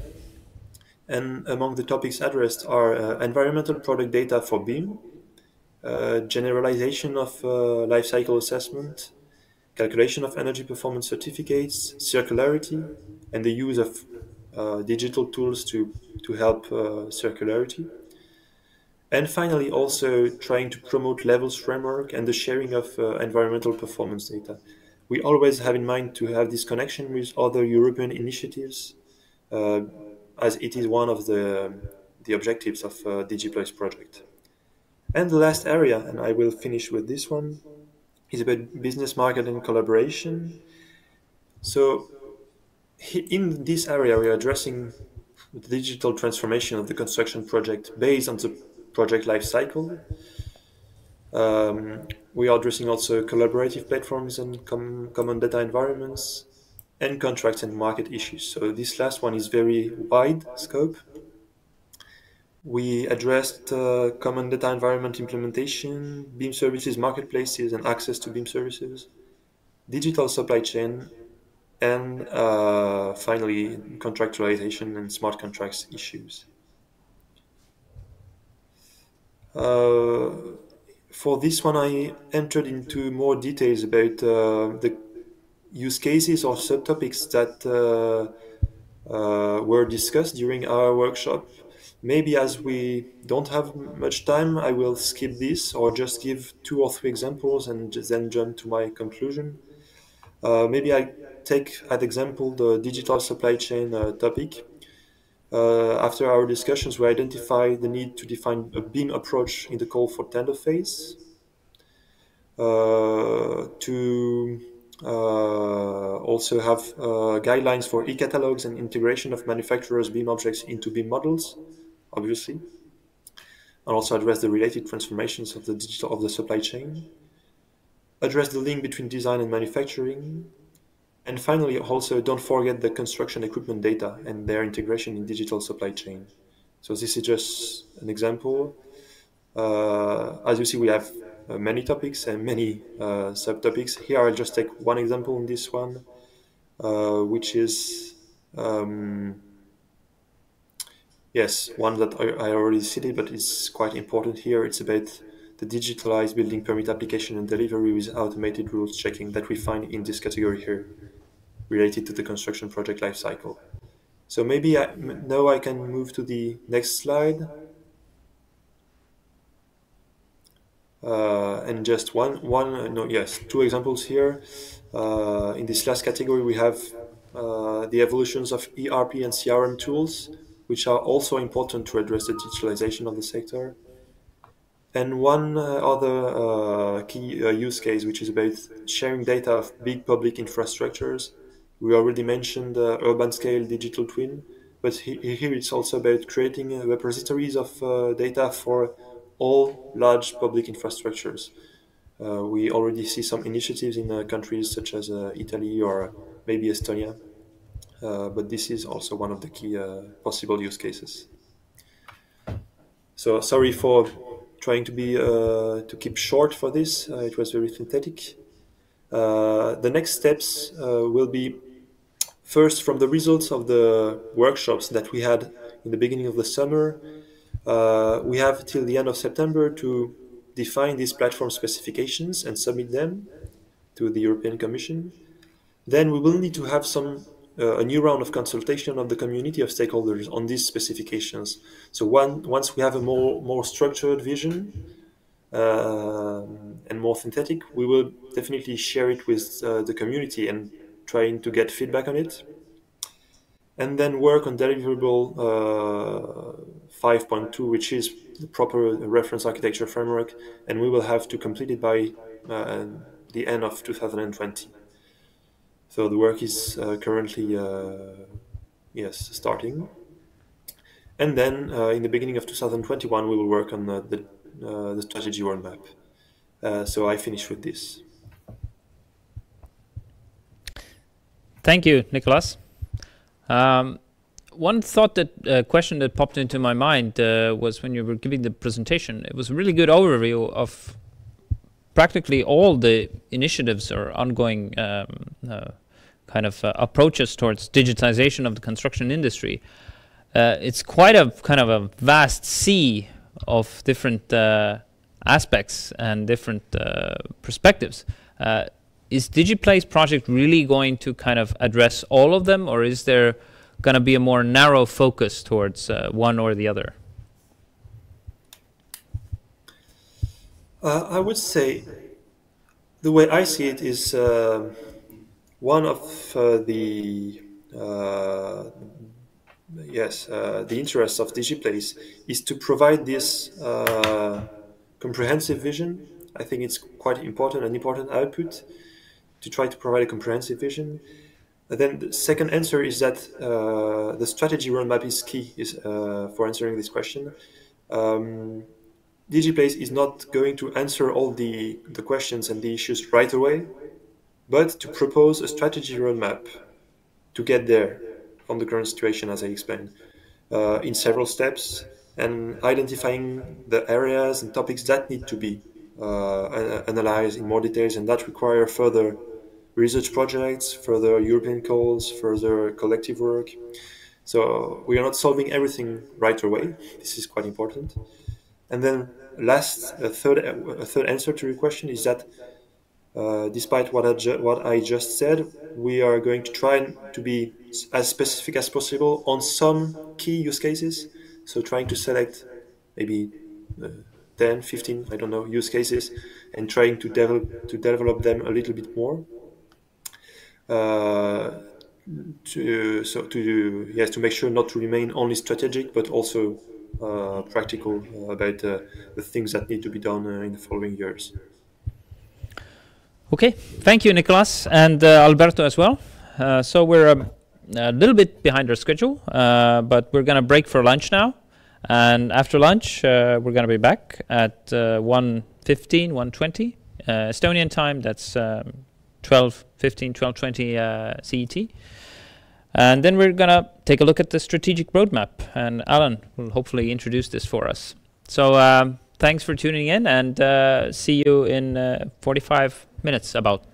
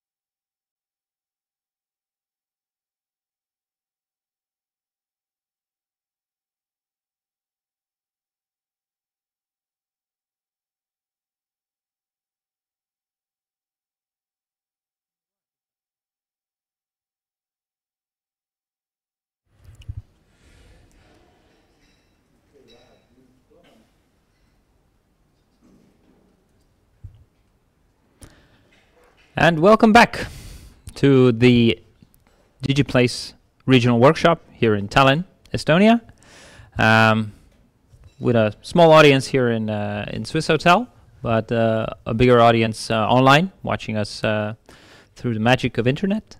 And um, this session and the today's workshop is being recorded as well. So if you didn't have a chance to view it uh, live, you can view the recording afterwards and get the information on demand. But we have um, uh, a couple of more hours uh, to entertain you with uh, with digital construction topics. Um, in this part of the session, we're going to look at the uh, strategic roadmap of DigiPlace, and then also the community of uh, stakeholders, uh, how you can be a part of the uh, Digi DigiPlace um, project, have your say and be more involved. And uh, we're also going to be doing some brainstorming questions and answers. So that is your opportunity to join the discussion at slido.com uh, with the keyword DigiPlace. So if, uh, yeah, we can la later show a slide about uh, that as well. But uh, it's really really simple. Just go to slido.com and enter the uh, hashtag DigiPlace. So you'll be able to then submit your questions online, and we will take them later on uh, in the schedule and uh, try to answer them. But now, uh, I would uh, like to hand over the digital floor to Alain Zarli. Are you with us? Can you hear us? Hello, Jan. Can you hear me? Yes, Alain, I can hear you loud and clear. So where are you uh, right. uh, tuning in from? Yes. Uh, well, I, I, can't really complain. I'm, uh, I'm on the French Riviera, but uh, well, indeed working at home. Uh, but I'm still very, very disappointed not being with you. you know why. Huh? We have been exchanging many mails about the current situation, and unfortunately, we have to deal with it. So, um, but anyway, I'm very, very pleased to um, to uh, introduce you and the audience, and also all our colleagues who are connected to this um, to this uh, uh, strategy that we are trying to elaborate. Uh, and maybe at, at, at, at, the same time that maybe we can start yes with the uh, with the slides. I just would like to mention first that well, I'm presenting it also on behalf of Sarah Gotti and Brigitte Jacquemont uh, from Ministry uh, of Construction, who are, by the way, the work package leader in DigiPlace of, uh, of this related to the strategic roadmap. And also that the work is going to really and deeply, tangibly uh, from 1st of September. So, of course, well, uh, all the elements and ingredients of my presentation uh, are, of course, subject to future discussions and, and are challengeable. So this is something which is very, very important to, to, to keep in mind. Uh, maybe very, very quickly to introduce, uh, based on, on the previous presentations, uh, understanding, well, what is the main technical out, uh, when I said technical, uh, it's about the reference architecture framework. We, we view it as, uh, let's say, kind of delimited, deployable, and which is an evolving is a very, very important term here. Evolving set of specifications and also development and deployment guidance uh, that uh, should allow the progressive generalization of digital platforms uh, as well as connected applications and services. And uh, uh, this reference architecture framework is going to be elaborated on, on top of some key principles.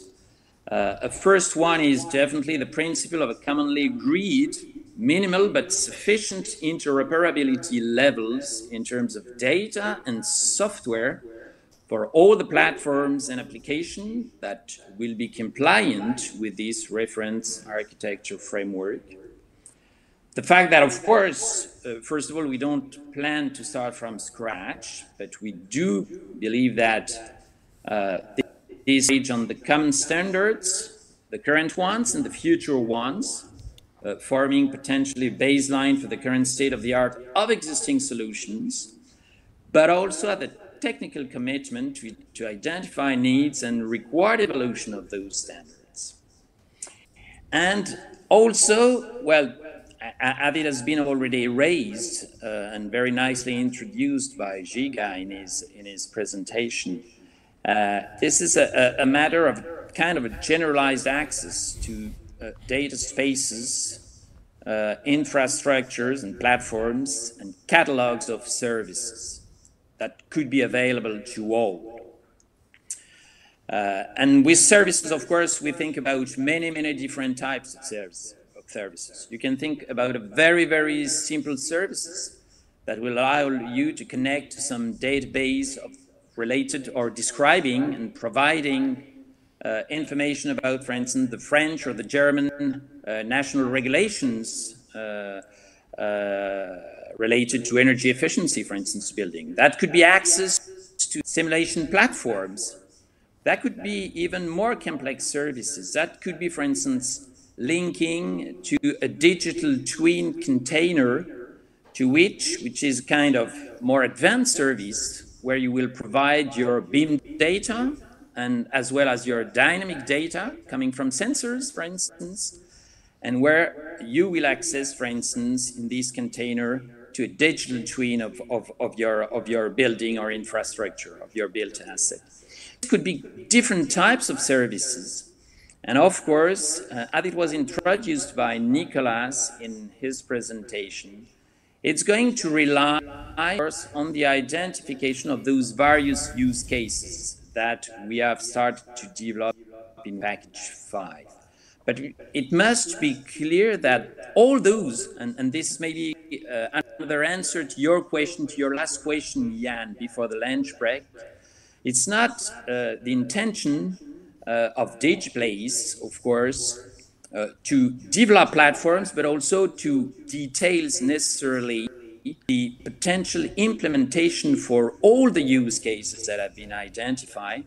Those use cases are, of course, for us useful to identify what are the key elements and ingredients of uh, a RAF compliant digital platform, and to identify, of course, what will be all use cases and scenarios that such platforms should serve in the future.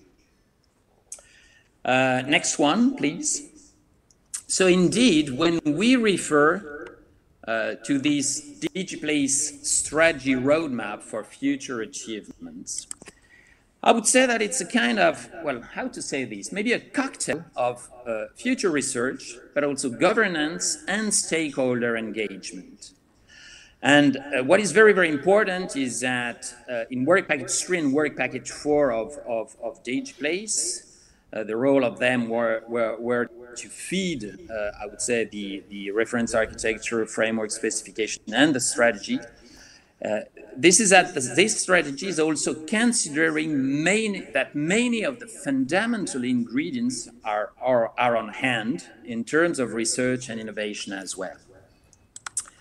So what is going to be this strategy roadmap that we intend to develop, by the way, with all of you, not only uh, just a, a, few bunch of, of partners in, in DigiPlace. It's really with all of you and the, and the DigiPlace community of, of interest.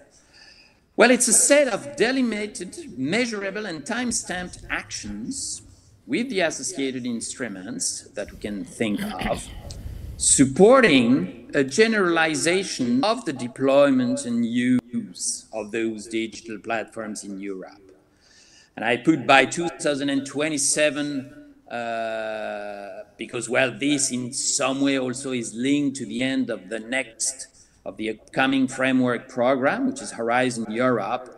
Uh, but, but of course, uh, the idea is, is to develop this over the next decade and, and probably beyond.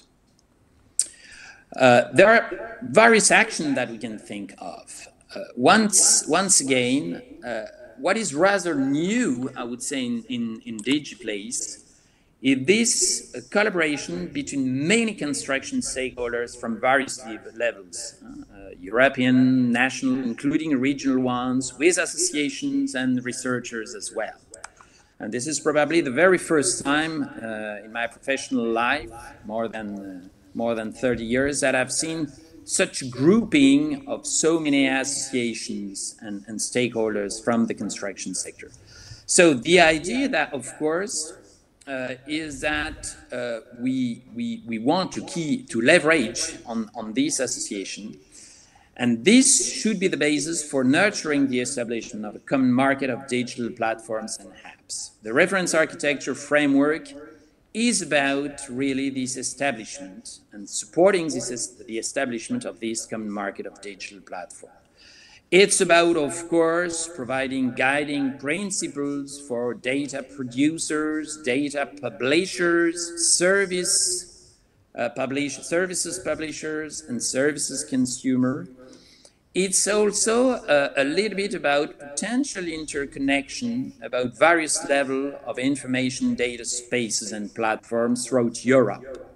Should they be, by the way, at a European level or a national or a more regional or local level?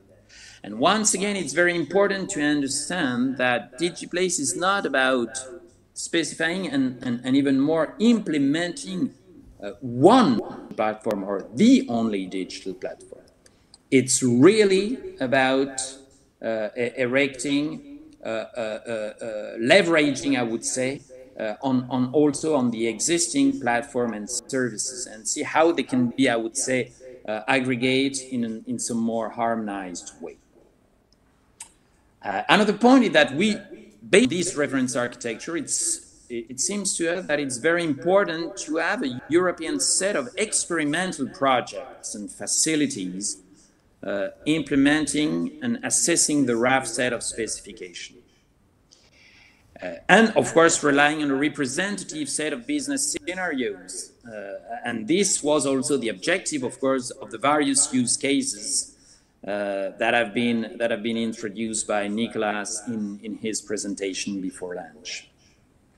And uh, there is something which is also very important. I mentioned that our goal is not to have a prescriptive approach, but rather a, a European level agreed holistic reference vision and framework uh, with, of course, technical process and regulatory boundaries and guidance that embraces all the separate elements contributing to the future construction digital platforms, but also with massive, supporting a massive behavioral adoption change, because it can't be only from uh, about technical improvements uh, in, in this specific context. So developing awareness, expertise, skills related to the firms and services uh, is going to be, of course, of paramount importance. Should it be, uh, uh, and, and, I would say on both sides, users of the digital platforms, but also those who are going to feed those digital platforms with third-party software. Next one, please. So imagine for the time being uh, that uh, we can develop this DigiPlace strategy uh, according to, let's say, what we have called for the time being a three cornerstones approach. Promote and network, develop and deploy, experiment and capitalize. So what does that mean, roughly speaking, and, and, and very, very quickly? And once again, and this will be, of course, refined and, and developed in the near future. Uh, promote and work. Uh, we are, in the context of DigiPlace, of course, having this DigiPlace community of interest that will be introduced by Luigi in the next presentation. The intention and, and the need from my point of view is that we, we have to have a long-lasting stakeholders ecosystem or forum to promote and continuously refine the DigiPlace RAF. At the end of DigiPlace, uh, in May next year, there will be, of course, a full specification but this specification of the reference architectures aims to be, of course, continuously refined and also based on some that we will leverage on this, uh, on this architecture. Uh, another point is developing the graph of emerging or future initiatives and alliances, potentially dedicated to digital platforms, apps, and services. Uh, I've been uh, really uh, impressed by the entertaining presentations by, by uh, Jan and, uh, and, and, and Toni this morning. Uh, exhibiting that really Estonia and Finland are quite advanced in, in, in developing platforms and digital tools.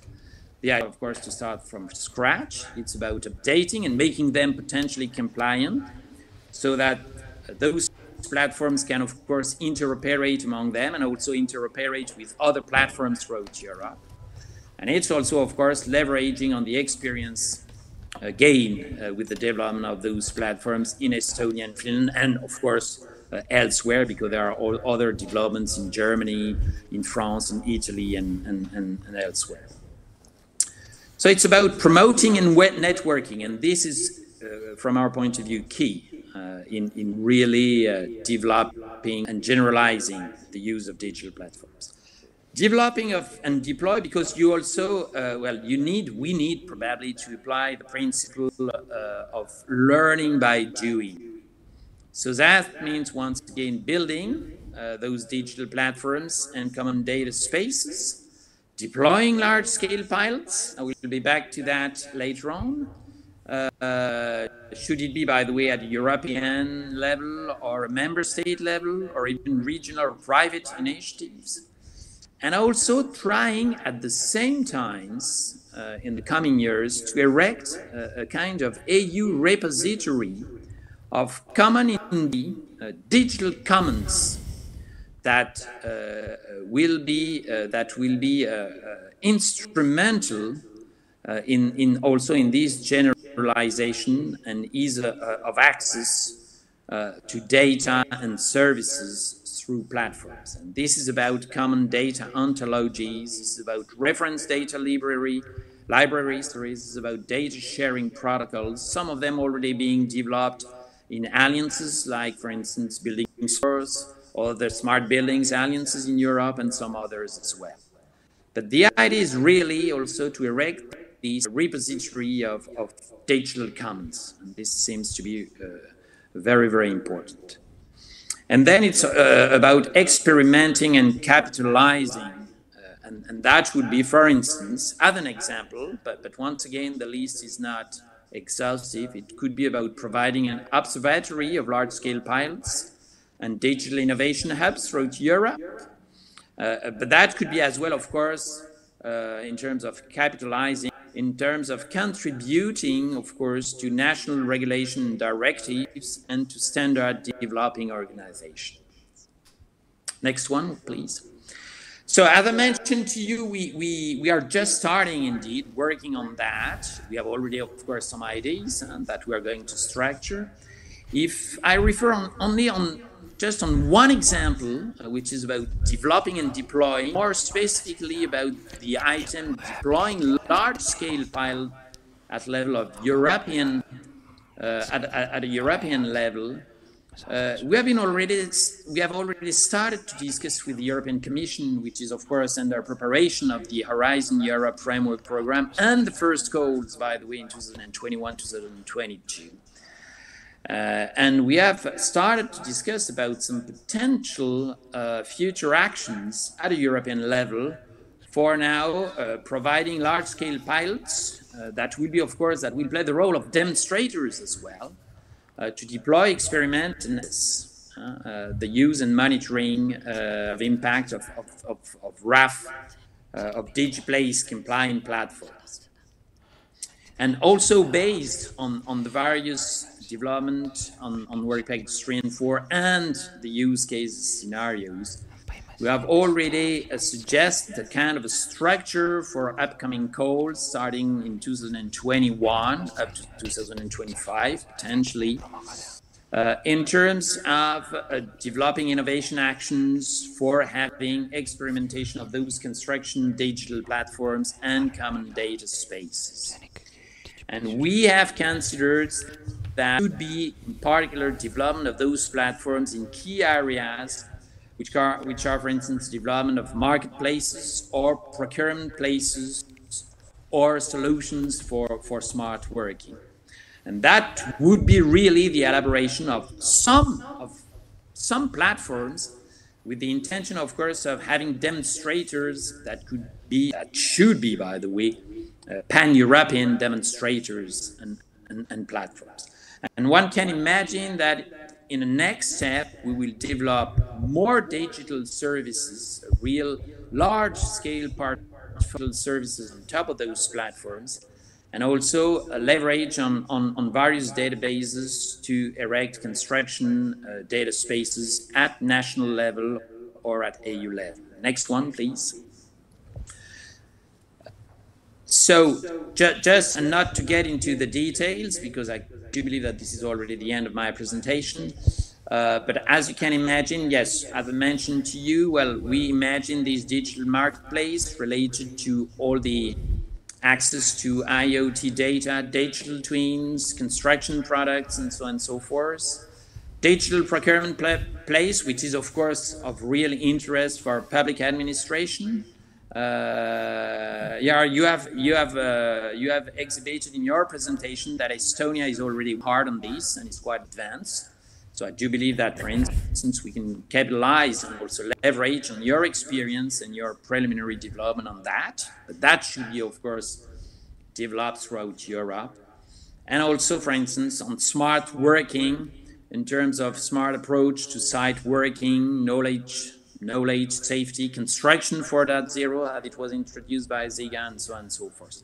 These are examples uh, that should probably uh, allow us to have large-scale pilots very, very soon, uh, funded hopefully by the European Commission, to demonstrate and really kickstart, I would say, the generalization of those platforms. At the conclusion, next, next slide, please. Uh, at a very quick conclusion, uh, in terms of the timeline of actions within DigiPlace and Work Package 6, uh, as a reminder, Work Package 6 is uh, responsible for this strategy roadmap. Uh, we have started, uh, as exhibited, some, some brainstorming. the Work Package is now starting from the 1st of September.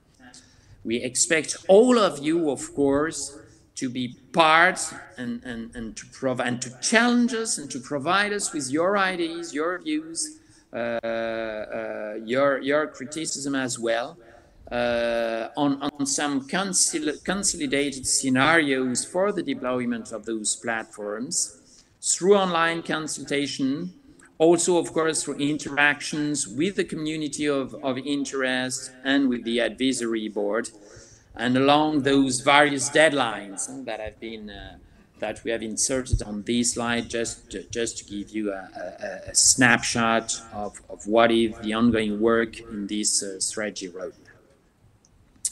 So I will probably uh, finish here my presentation I don't know if there are uh, uh, if there are uh, any any questions right now, or maybe if we keep them at, at, the end for the question and answer session. Thank you very much, Jan. Thank you, Alain. That was a really good overview of the of the roadmap, and uh, we have some questions indeed, but uh, let's keep them to the uh, question and answer section.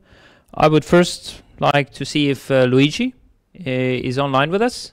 Uh, so he can talk a little bit about the community involvement and how everybody watching this broadcast or recording later on can be a part of DigiPlace project. So, Luigi, are you there? Yes, here I am. Can you hear me? Yes, we can hear you and see you loud and clear. So please, the floor is yours.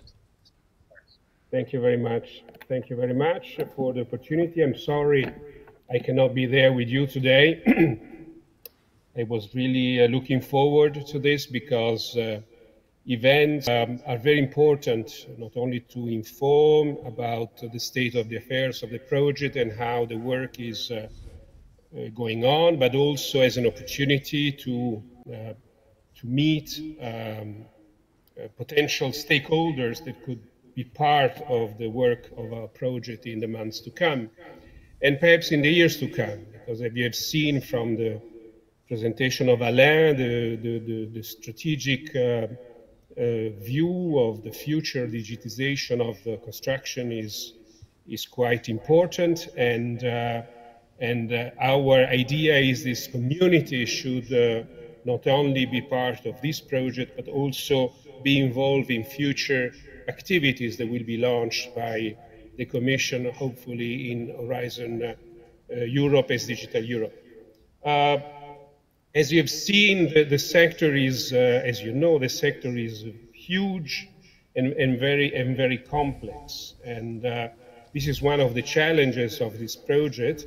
Uh, and that's why uh, the community for us is particularly important, is because we need to make sure that all the different part, the different stakeholders are involved and uh, that we can take in consideration their needs, uh, uh, expectations and problems that could arise through the um, development of, uh, of uh, a digital strategy for construction, in particular with platforms. Uh, as you see, this is, I, am coordinating as Federcostruzioni, this work package two, that is the one in charge of the long-term community building, um, uh, also that includes the community of stakeholders and also the advisory board, and that is uh, um, it's EXA that is, uh, it's FIEC that is uh, um, coordinating the, the, advisory board activities. So it's, it's, quite, it's quite complex. Uh, our objectives, as you, can, as you can see, is to, first of all, to inform you about the, the project objectives and uh, now the, not the very preliminary outcomes, but also the outcomes of the project. As you have seen, a lot of work has been done um, and so the first thing is that you need to know what this all is about. Um, and then clearly there is an important role that the stakeholder uh, can have uh, is participating to the activities and has been said also by Alain and other speakers before, there will be, there are ongoing activities that will uh, involve whoever will be registered as a, uh, as a stakeholder in our uh, community of stakeholders. Uh, but also there will be a role in uh, disseminating the results of the project, the reference architecture, the, the use of the reference architecture will be very important to make successful uh, the digitization of uh, the construction uh, sector in Europe and also member states level.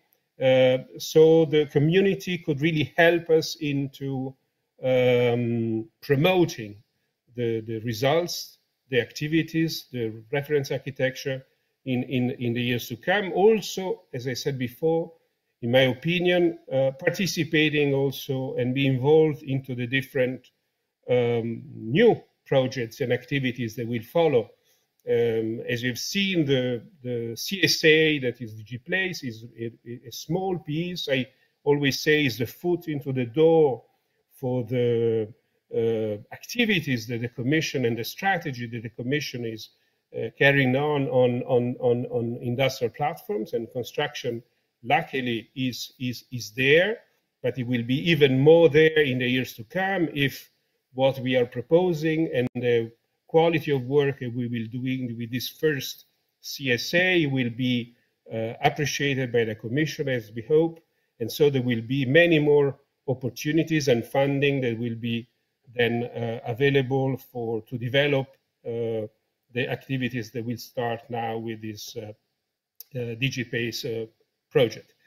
and the other thing is clearly um, the influence, because as you know, I mean, construction is very important, is large, uh, represents uh, uh, high percentages of GDPs in many, in many countries, but is not alone. Eh? There is a, somehow a competition between the different sectors uh, to have the full attention of the European and national and perhaps regional authorities uh, so that the sectors is kept at as a priority sector. Uh, in the in the activities and the funding also uh, that will be necessary to support uh, the digitization of this. And as you know, uh, it is made uh, not only by large and uh, important companies, but a huge number of, of small and micro enterprises. And the fact that the, the sector will be taken as a priority sector would help also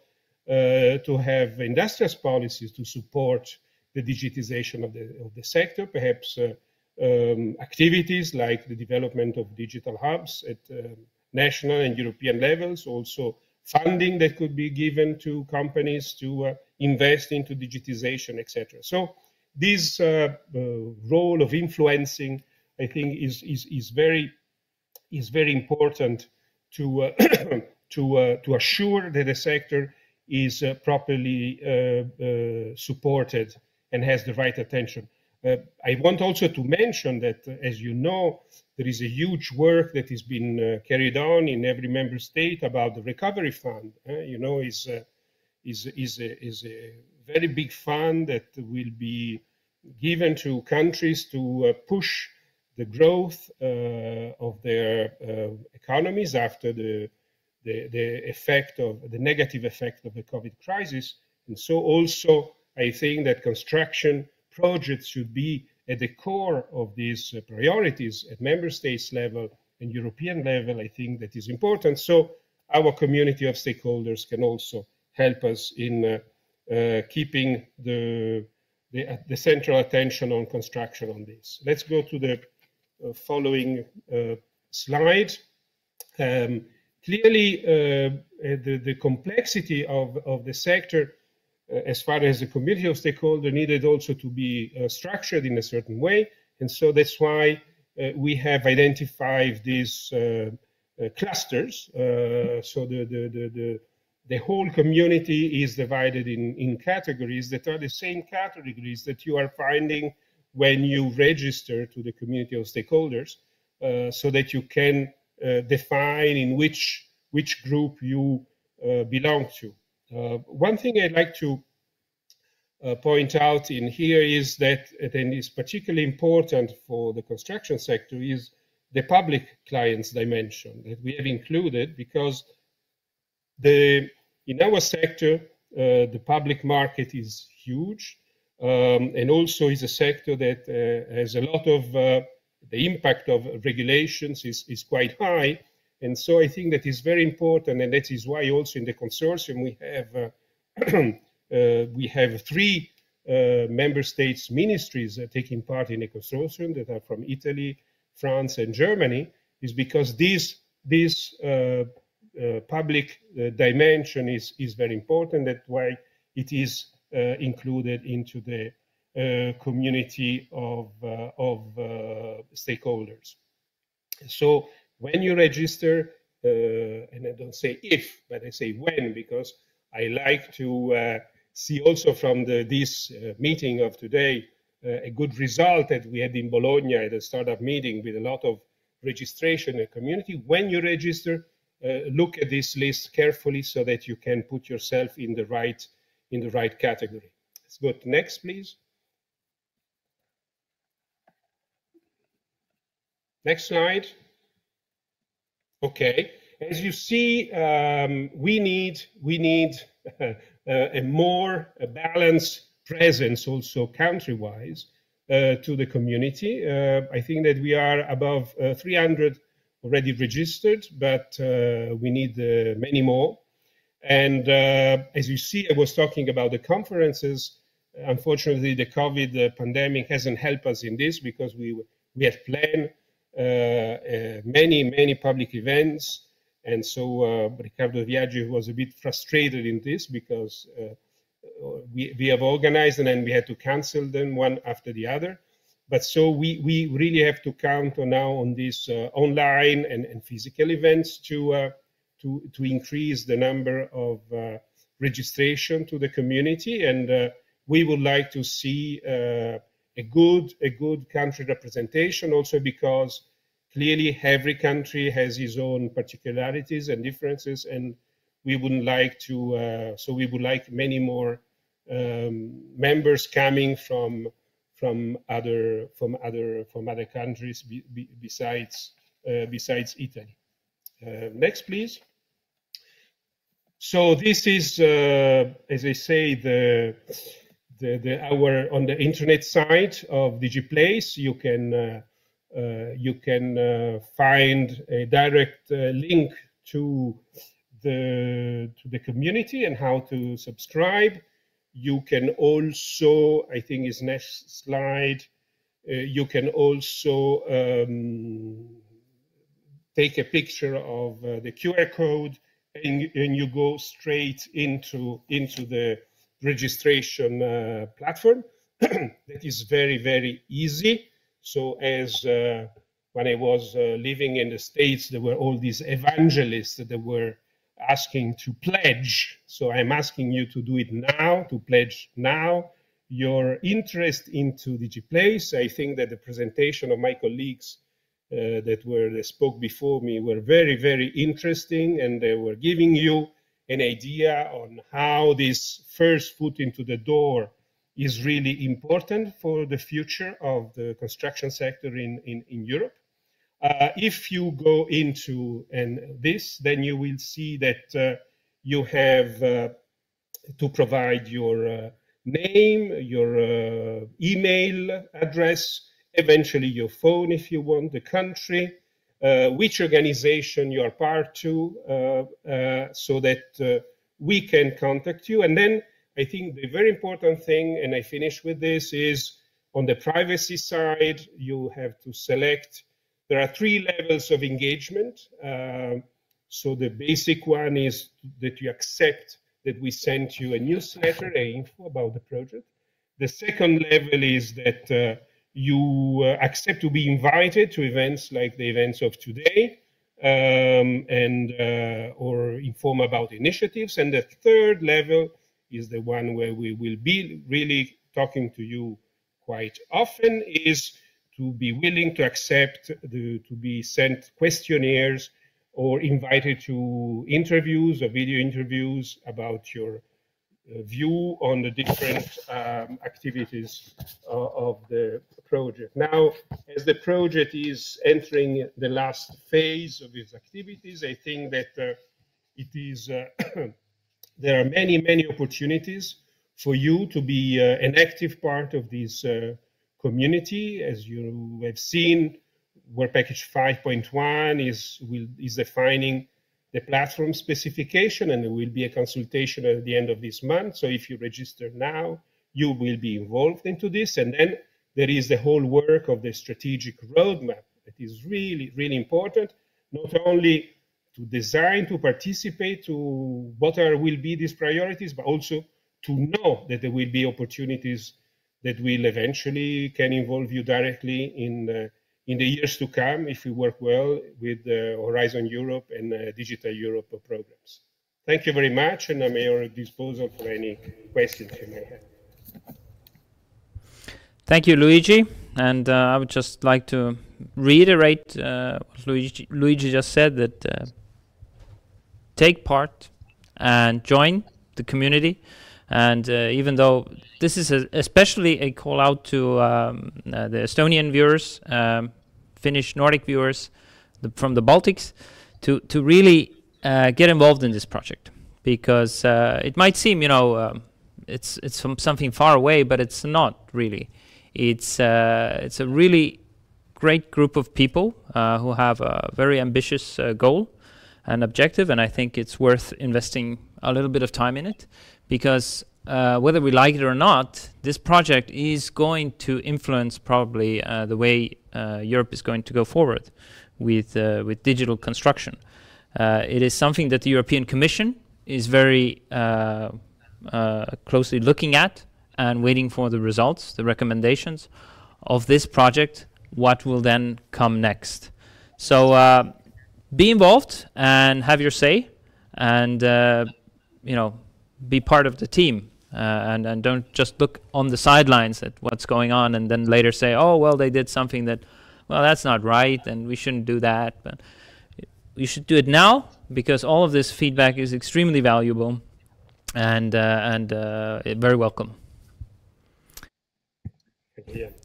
so um, now on to the most interesting part uh, I think for of the presentation uh, or this day is the Q&A session. So we have um, so we have 20 minutes ab about maybe half an hour left uh, to go through the questions. Uh, you are eager to ask everybody, and uh, a lot of people have already uh, entered questions on Slido. So if we can bring up the Slido uh, slide uh, once more, just go to the website slido.com and look for the hashtag DigiPlace, and you'll be able to enter your questions um, live uh, to to our panelists. And uh, let's see who is online. We should have online most of the speakers uh, from here today. And it's to go like this: that I will um, I will moderate the question and answer sessions. I will try to direct questions uh, to the panelists. Some questions here are already directed to a specific person, but uh, I think we'll try and do as much of a discussion panel as is possible uh, using this digital format. So, um, but can we bring up the uh, the uh, screen with the participants? Uh, would be nice to see the faces. All right. So we have uh, already their uh, familiar faces, and also one more person who didn't get to present. Um, maybe uh, she can introduce herself. And there's Mimo as well, of course. But uh, I think, uh, uh, can you just say hi um, from, uh, I think also from uh, France? Hi. Sarah? Yes, I'm Sarah Gauthier from the French Ministry. Alain told already that we are part of the Work Package 6 in the DigiPlace project. Can you hear me well? Yes, we can hear you well, Sarah. Thank you for joining us. And uh, also, uh, as a new person, Mimu, can you just say hi so we can hear you online? Hi, hi, hi everyone, and thank you for this uh, presentations. It has been really wonderful to hear all the presentations. Okay, great. So let's go through the questions. Um, uh, can we bring up the Slido questions uh, screen? So I will just uh, highlight. Perfect. So um, I've highlighted question to Alberto. Um, the question is very simple. Can you share the mind map which you were presenting? So I'm guessing the answer is yes. Yes, probably only after the send the delivery to the European Commission. So maybe uh, we have to wait only one month, not more. And after, I think we could share. Nothing problem. Maybe we could put on uh, the website of the project. Mm-hmm. Is it okay to share the slides uh, from the today's presentation as well? Yes, like like today's presentation. Yes, why not? Okay, we will put the slides up on the website as well, and uh, and send an email out to uh, to all the participants. So um, next question um, is uh, directed at Jan. Um, so the question is, can you specify the role and the objectives of the Construction Classification International, and how does this fit with the EU BIM task group? So this is a question for Ricardo. Thank you. A very good question. Um, the role of uh, CCI, uh, Construction Classification International, is to really um, uh, better enhance uh, international collaboration, uh, especially when it comes to uh, when it comes to uh, the common language for construction. Now, classification is just one part that we can that we can look at. So it's not the whole picture. So if we're talking about data in the construction industry, classification is kind of giving the frame. So we're looking at the same location, uh, same high-level objects. But when it comes down to the properties and the very uh, details regarding materials and all of that, then we are talking also about data templates, and uh, which is maybe not specifically part of the classification. But to tie all the information together, we need a classification uh, that describes the whole system, the whole complex. And this is what we try to do with CCI. And it's an open collaboration. Uh, everybody's welcome to join. Um, and we want to make sure it is always free to use it. And uh, as I said, we we started with a few countries already. And once we get the, the non-profit entity established in, in Brussels, we will, uh, we will be more actively communicating this because it's rather still in the beginning, uh, but we are implementing it on a government level in Estonia, in, in Czechia, in uh, Lithuania, and in Denmark already. And uh, there, another part of the question was how does it link back to the EU BIM task group?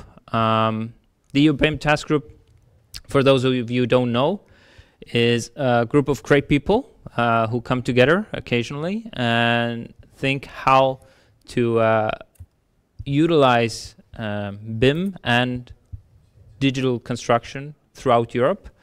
Um, and uh, I'm proud to say I'm a member of the EU BIM task group as well.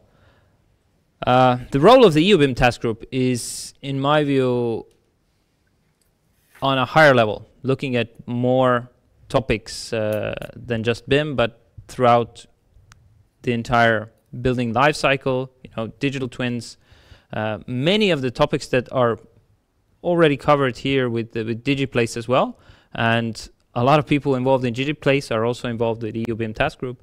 But the EUBIM task group has been uh, actively promoting uh, the use of BIM for years already. And it's kind of an advisor also to the European Commission. And one of those activities is uh, the EUBIM task group does is supports open standards and the use of uh, you know common uh, standards. And classification is one part of that. And uh, but it's not actively kind of directing all of these activities. It's kind of connecting the people and the organizations uh, with the appropriate uh, activities but uh, yeah, if you want to know more about EUBIM Task Group, uh, go to eubim.eu. So that's their website. Uh, but let's take another question. Um, there's a question again about classification. Uh, why do we need classifications? Uh, there's a risk to other uh, that other countries stick to OmniClass or other types of classifications. That's true. There's lots of classifications, and that's the problem we face because uh, and and that's what we're trying to solve with CCI because uh, we see that Estonia needed a new classification system and we shouldn't invent a new one. We shouldn't start with our you know another classification system. So we we we went out and looked for anything that we could use and uh, that's how CCI became about. And we hope that more and more organizations adopt this. After all it's based on standards and uh, you know, it's it's a very philosophical question why we need a classification. Um, whether we acknowledge it or not, we classify almost everything in life, uh, starting from you know uh, hierarchy of uh, of animals, uh, plants, uh, and ending up with, of course, the built environment, what makes up a building. And it's important that we are able to communicate and speak the same language. Uh, and that's why we still need, uh, for the foreseeable future, common classifications. Um, in the long-term future, of course, uh, machines will be intelligent enough that we can call, say something about a column or a window in whatever language, in whatever classification, and the machine can interpret that for others. Um, but that's a little bit further in the future. Uh, in the meantime, we still need a kind of a common language, and a classification is, is, in my view, something that we that we really need. But um, okay, now going mo into more detailed questions about uh, about DigiPlace, and for example, there's a question here about digital procurement and the alliance procurement model, which is differing from uh, traditional procurement models. And these uh, alliance procurement or IPD, integrated project delivery models, are widely utilized in Finland already. Mm, maybe, um, Alain, can you maybe comment on uh, on how the DigiPlace project has an influence on procurement, and and is yes. there room for alliance uh, kind of models? Can you hear me? Yes, we can hear you. Go ahead. Yeah. Okay, great. Uh, well, I'm probably not the only one being able to answer to this question, and I'm not sure about a comprehensive answer. But um, anyway, uh, I do believe that uh, as far as DigiPlace, I mean the DigiPlace project itself is concerned, uh, this is not, from my point of view, our main role of telling people we should use uh, the classical uh, procurement models, or we should use uh, the new alliance uh, procurement models. What is important for DigiPlace, from my point of view, is two things. The first one is that, and that's also why the community is so important, because there are many, many initiatives, many developments here and there, and it's very important that the most we have people in the community of interest, the more we will get information on that. But I do believe that DigiPlace first have to acknowledge the fact that today there are developments, various procurement models. Maybe in, in, in, in, a near, in a near past, there was only the classical ones, but now new ones, and in particular through the alliance procurement models. So we have to acknowledge this. And doing that, what does that mean? This means that we have to elaborate a reference framework that will allow indeed construction stakeholders in the future to, in some way, how to tell this, smoothly deal with any type of procurement. Should they be classical procurement models? Should they be coming from, from these alliance? Should they be maybe in the future, I don't know, new form of procurement model that could be developed uh, in member states? But the most important is that we acknowledge that uh, uh, those uh, different models exist and that any type of RAF compliant platforms will be able to deal with that. Uh, and that would lead, of course, that could lead, by the way, to different scenarios for implementing digital platforms, though they could be compatible. Just giving a very, very quick example, and I'll be very, very short. Uh, think about uh, the, the, the railways network. In France, for instance, we have what we call the classical railways network, where you have classical trains uh, also, of course, the high-speed trains uh, railway networks. But of course, high-speed train uh, networks can, of course, run uh, on, on, on, on, on the classical uh, railway networks. So, and, and the reverse is true as well. So what is important is that uh, we have to ensure that in the future, in all cases, there will be different situations depending on the types of project, depending maybe on the types of regulations, on the various local, regional, or national boundaries. And we should ensure that digital platform in the future can really handle all those different models and, and being able to really manage uh, all those various boundaries. Okay, Thanks. thank you. Thank you, Alain. Uh, does anybody else want to um, comment on the alliance model? Maybe Mimo, since Finland was mentioned. Uh, do you want to comment on the alliance model and, you know, link to digital platforms? Uh, yes, I mean alliance model. Of course, I mean it's it's also like uh, about the kind of like how we're exchanging the information and really really working towards the same goal. So in that sense, that's really linked to the to the platforms and the, the data and, and real data and the data which is up, updated. So I see that kind of like the platform is really useful tool uh, for alliances to even even perform better. So I think I think there is a great synergies in, in that sense. Thank you, Mimo. Um, let's take the next question. Uh, it's directed to to me and Alain, but I would really love if Alain would answer this first. Is it productive that individual countries go ahead with their own money and don't wait for funding? So I'm not sure exactly what they mean with this question, but how do you, uh, uh, how would you answer this, Alan? Uh, okay, maybe just my interpretation of the question first mean that, well, if they're an irrational, that uh, there are development at a national level, uh, whilst it would be better maybe to have only development at European level. Maybe it's kind of an indication on my side.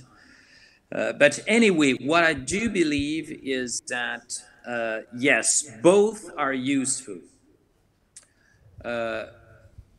I would say that national development are useful because this will be the only way to get or to dive into the details of the requirements and wishes from construction stakeholders in various countries in Europe and also to better identify what are the different constraints, boundaries in each, in each country. So that's something which is very, very important.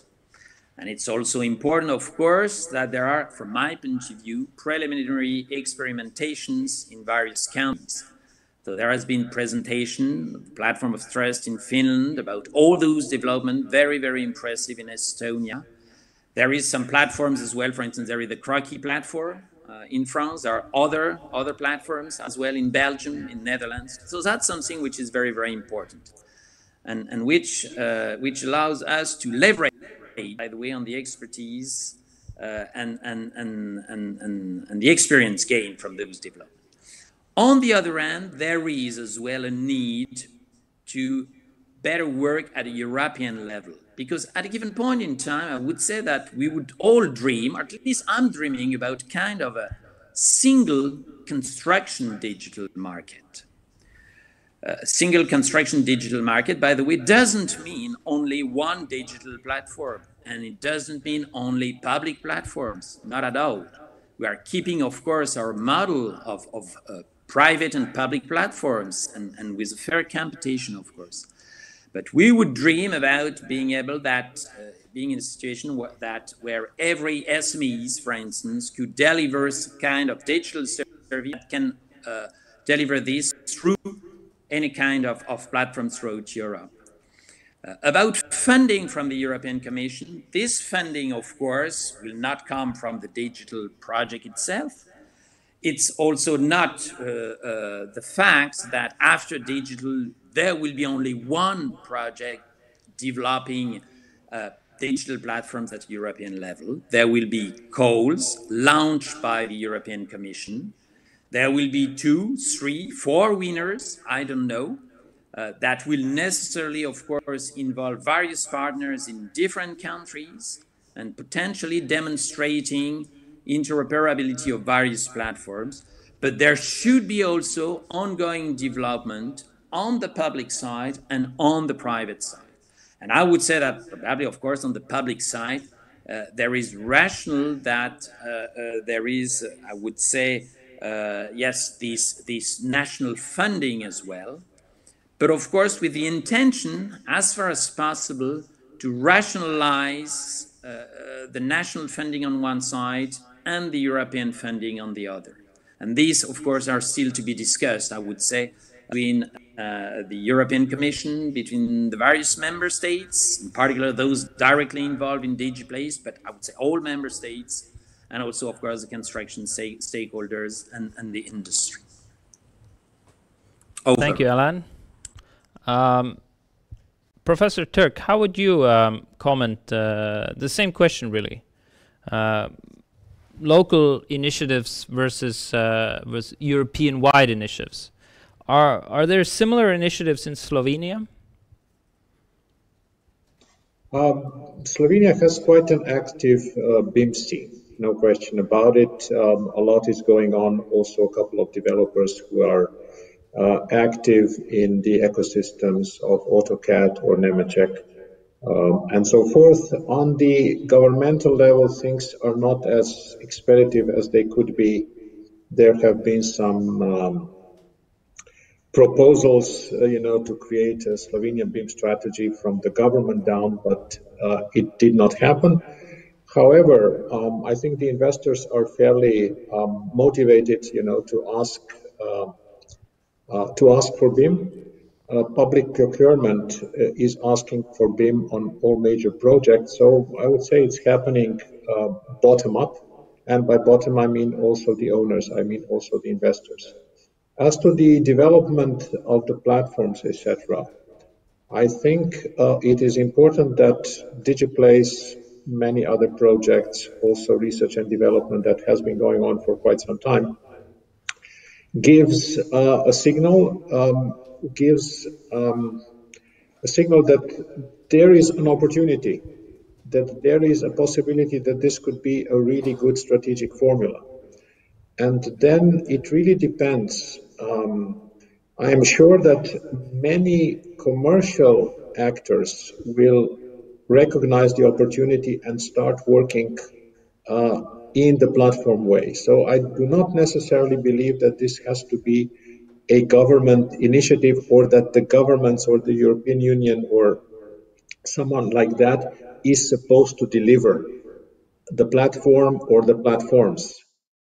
Um, on the contrary, it would be very nice to see um, software developers picking up on the on the concept and um, you know, in, in a fair competition, and this is something that politicians and Euro Commission, European Commission have to do, and in fair competition with the Americans, um, deliver deliver a solution that is better than what um, is currently uh, is currently on offer. So it's there's a room for for both parties, uh, and I think with DigiPlace we are doing uh, our part, the public organizations, the publicly funded university, the publicly funded project from the EU. Uh, it's, it's setting up some uh, some groundwork, disseminating knowledge. Um, also, we are, you know, teaching uh, and lecturing about this. Um, an opportunity is there. Who will take it is is open.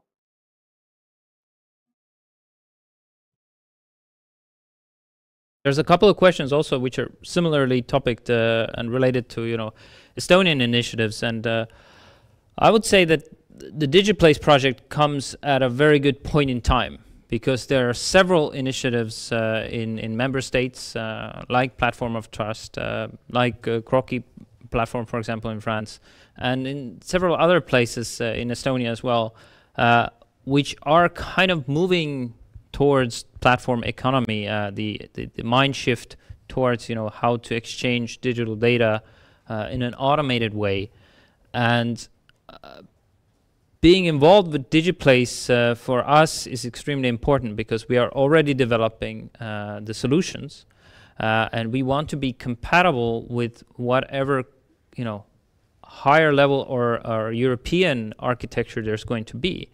And it's really important that we all look towards, you know, the same goal uh, of how do we exchange information not only within uh, between companies uh, and uh, organizations within our country, but it is the digital world is a global world. There are no borders, so we really need to think about how we uh, bridge the gaps and eliminate all obstacles between data exchange of uh, of services in one country and another country uh, of one type and another type. And I think that's the that's the value of DigiPlace and, and and what we hope to get out of it is that we adjust our platform to be compatible with it. Uh, we share our knowledge uh, of the development of the Estonian e-construction platform. Uh, you know the mistakes and lessons we've learned that could potentially help others and we are looking for the same information from from from you know Finland from and other countries as well to see where they've stumbled and what could be the better approach. But in the end it's all about uh, interoperability interoperability really uh, between services.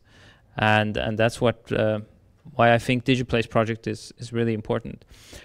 But another question um, regarding uh, standardization uh, is there cooperation with CEN and ISO?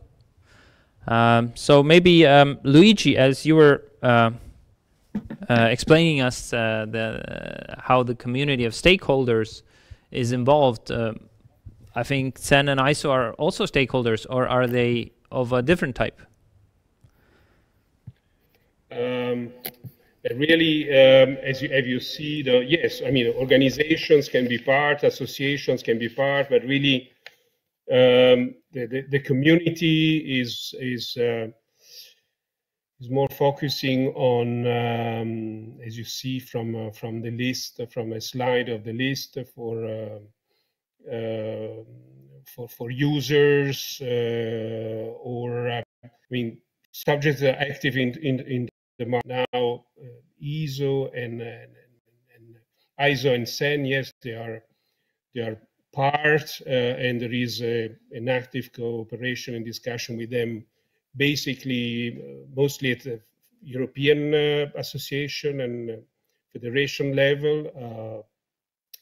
but um, I, I, don't I don't think we have any of the of those that are part of our advisory board either. Um, but our organization have contacts with them and we, we know what they do. So uh, we if we need to involve them, we will involve them. Uh, so there are, there are, let's say, channels open uh, now besides the community of, of stakeholders. Community wants to really bring in uh, um, subjects, people, organizations uh, that um, are, are somehow part of this very wide ecosystem, but that feel the need or the desire to uh, to provide uh, their their point of view or to be informed about these uh, developments because as you said DigiPlace somehow and if we work well will have an impact on the future of uh, construction digitization. So um, the, the, community is really uh, to give space to to um, individuals or organizations companies that are not already this part of the, let's say, the, the organizations that are normally participate at their point of view to the Commission or to the uh, of the European and international activities of the sector. I don't know if uh, I've answered to your question. Uh, thank you, Luigi. I think it, it, it, did answer. Does anybody else want to uh, comment on, on CEN ISO? In, in my view, it's it's more like uh, you know DigiPlace is building on top of the standardization work. And uh, and of course we are uh, we have to follow standards and we have to try, and especially uh, regarding open standards. But uh, is there any more direct involvement with the CEN and ISO? Yeah, go ahead, uh, Nicola. Oh, sorry. Alberto. Alberto yeah. Was Alberto, yes. Yeah. Fishery of uh, of uh, this place and uh, the Italian standard representing CEN in the advisory board. So we had a strict connect, connection with uh, uh, eyes with the CEN uh, with Italian standard is a part of the advisory board, but it represents CEN. Uh, there's a, another comment regarding the um, uh, regarding the mind map actually that they recommend really opening up more of this information to uh, uh to the stakeholders to get their engagement. But I think you know events like this, uh, there will be more and more events like this, and uh, you know it's uh, it's better to engage when you really have something to show. And and that's why I think now during autumn and and the winter it's it's really the best time to join the community of stakeholders and get engaged um, because there's a lot to discuss and uh, and to disseminate um, but uh, we have one more question about CCI so I, I understand this topic is um, is interesting for people uh, we don't have an official website out yet. Uh, there's references um, to CCI on the Czech standardization uh, website and also on uh, Molio website in Denmark. So if you're keen about learning more about CCI, um, first place you can take a look at is uh, molio.dk, which is the Danish uh, organization who is involved with the with the development of CCI. It's actually based on the Danish uh, CCS system. So it's kind of the next evolution of CCS. So there are the roots, but we will set up an international website uh, soon, and we will, uh, you know, send out information to to all participants involved. But uh, from looking at Slido, um, we're out of questions for now. If there's anything from the audience here uh, at Swissotel. Um, typical Estonians, uh, no questions. but um, but we are uh, almost at the end of our uh, time anyway. And uh, I would like to thank all the panelists for being available here. And for the closing remarks, um, I would kindly ask Mimo to, to say a few words as well. And then we can wrap up the show. Okay, thank thank you, Jan, and, and thank you for this uh, this wonderful workshop uh, for DigiPlace. I mean, I think this has been really really showing us the possibilities, but but also the the ones where we need to develop. Uh, we started today with the productivity curves, and we show that there is a lot of things to do for us in the Europe. But the good news is that the whole world uh, has the same problems in the in the construction sector.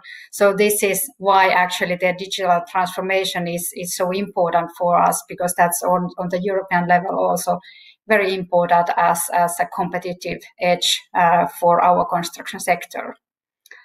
Um, we showed really nicely the, the timeline and, and the expectation of the DigiPlace, so so the whole project. And we also learned a lot about the different perspectives from Estonia and Finland, especially about the platforms, about their specification, how they are used, what are the kind of like what we need to develop more, what is functioning already now, what are the interfaces, how we make best use of the, the platforms.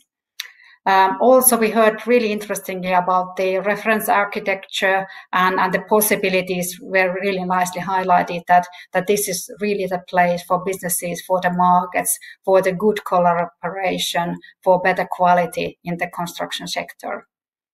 Um, in, after the lunch break, Alain was showing really nicely the big picture about DigiPlace, so the strategic roadmap, why we are doing this, what is our aim really in the in the long term perspective as well.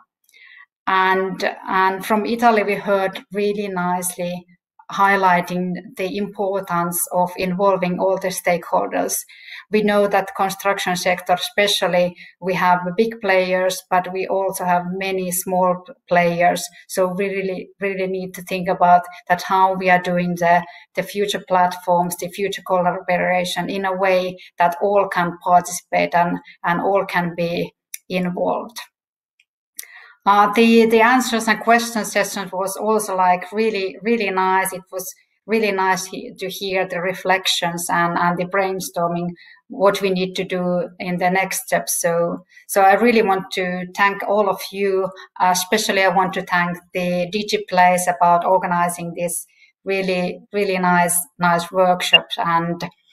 Uh, it was really good to do this in cooperation with uh, Digital Built Environment virtual conference 2020. So I hope that we can see in few weeks in virtual Tallinn and in virtual Helsinki in VDB 2020. So thank you from my behalf as well. Thank you, Mimo, for the excellent uh, wrap up uh, and summary. Uh, I really have don't have much to add to that. Uh, she already said everything. Uh, I would just like to thank uh, again Ave and the technical team for uh, for making sure that all of our presenters from across Europe uh, were able to connect and without uh, major glitches. I think that's always a, a great achievement uh, in in today's world, especially when we have a very complicated setup like this. Um, and take part in the DigiPlace community of stakeholders. become a member. Uh, go to digiplaceproject.eu. Uh, That's the website where you can find out uh, ongoing information about the project. And uh, and also, as Mimo said, uh, we also have a slide just to visualize the WDBE event. who we are doing this event in collaboration with them to spread the word. So we're helping them to spread the, also to spread the word about the virtual uh, World Summit on the Digital Built Environment, uh, which is going to be an illusion city uh, of uh, Helsinki and Tallinn. Uh, first time in the world, it's going to be you you'll be able to participate in this virtual conference through the Unreal gaming engine. So it's going to be fantastic. We don't know 100% how it will succeed, but I think either way, it's, it's, it's really exciting. So um, wdbe.org is where you'll get more information and you'll be able to buy tickets. But uh, I think that's it from us today. Thank you for uh, participating, for watching online, and uh, stay tuned uh, for ongoing news about DigiPlace project and uh, and get involved. Thank you, everybody. Okay.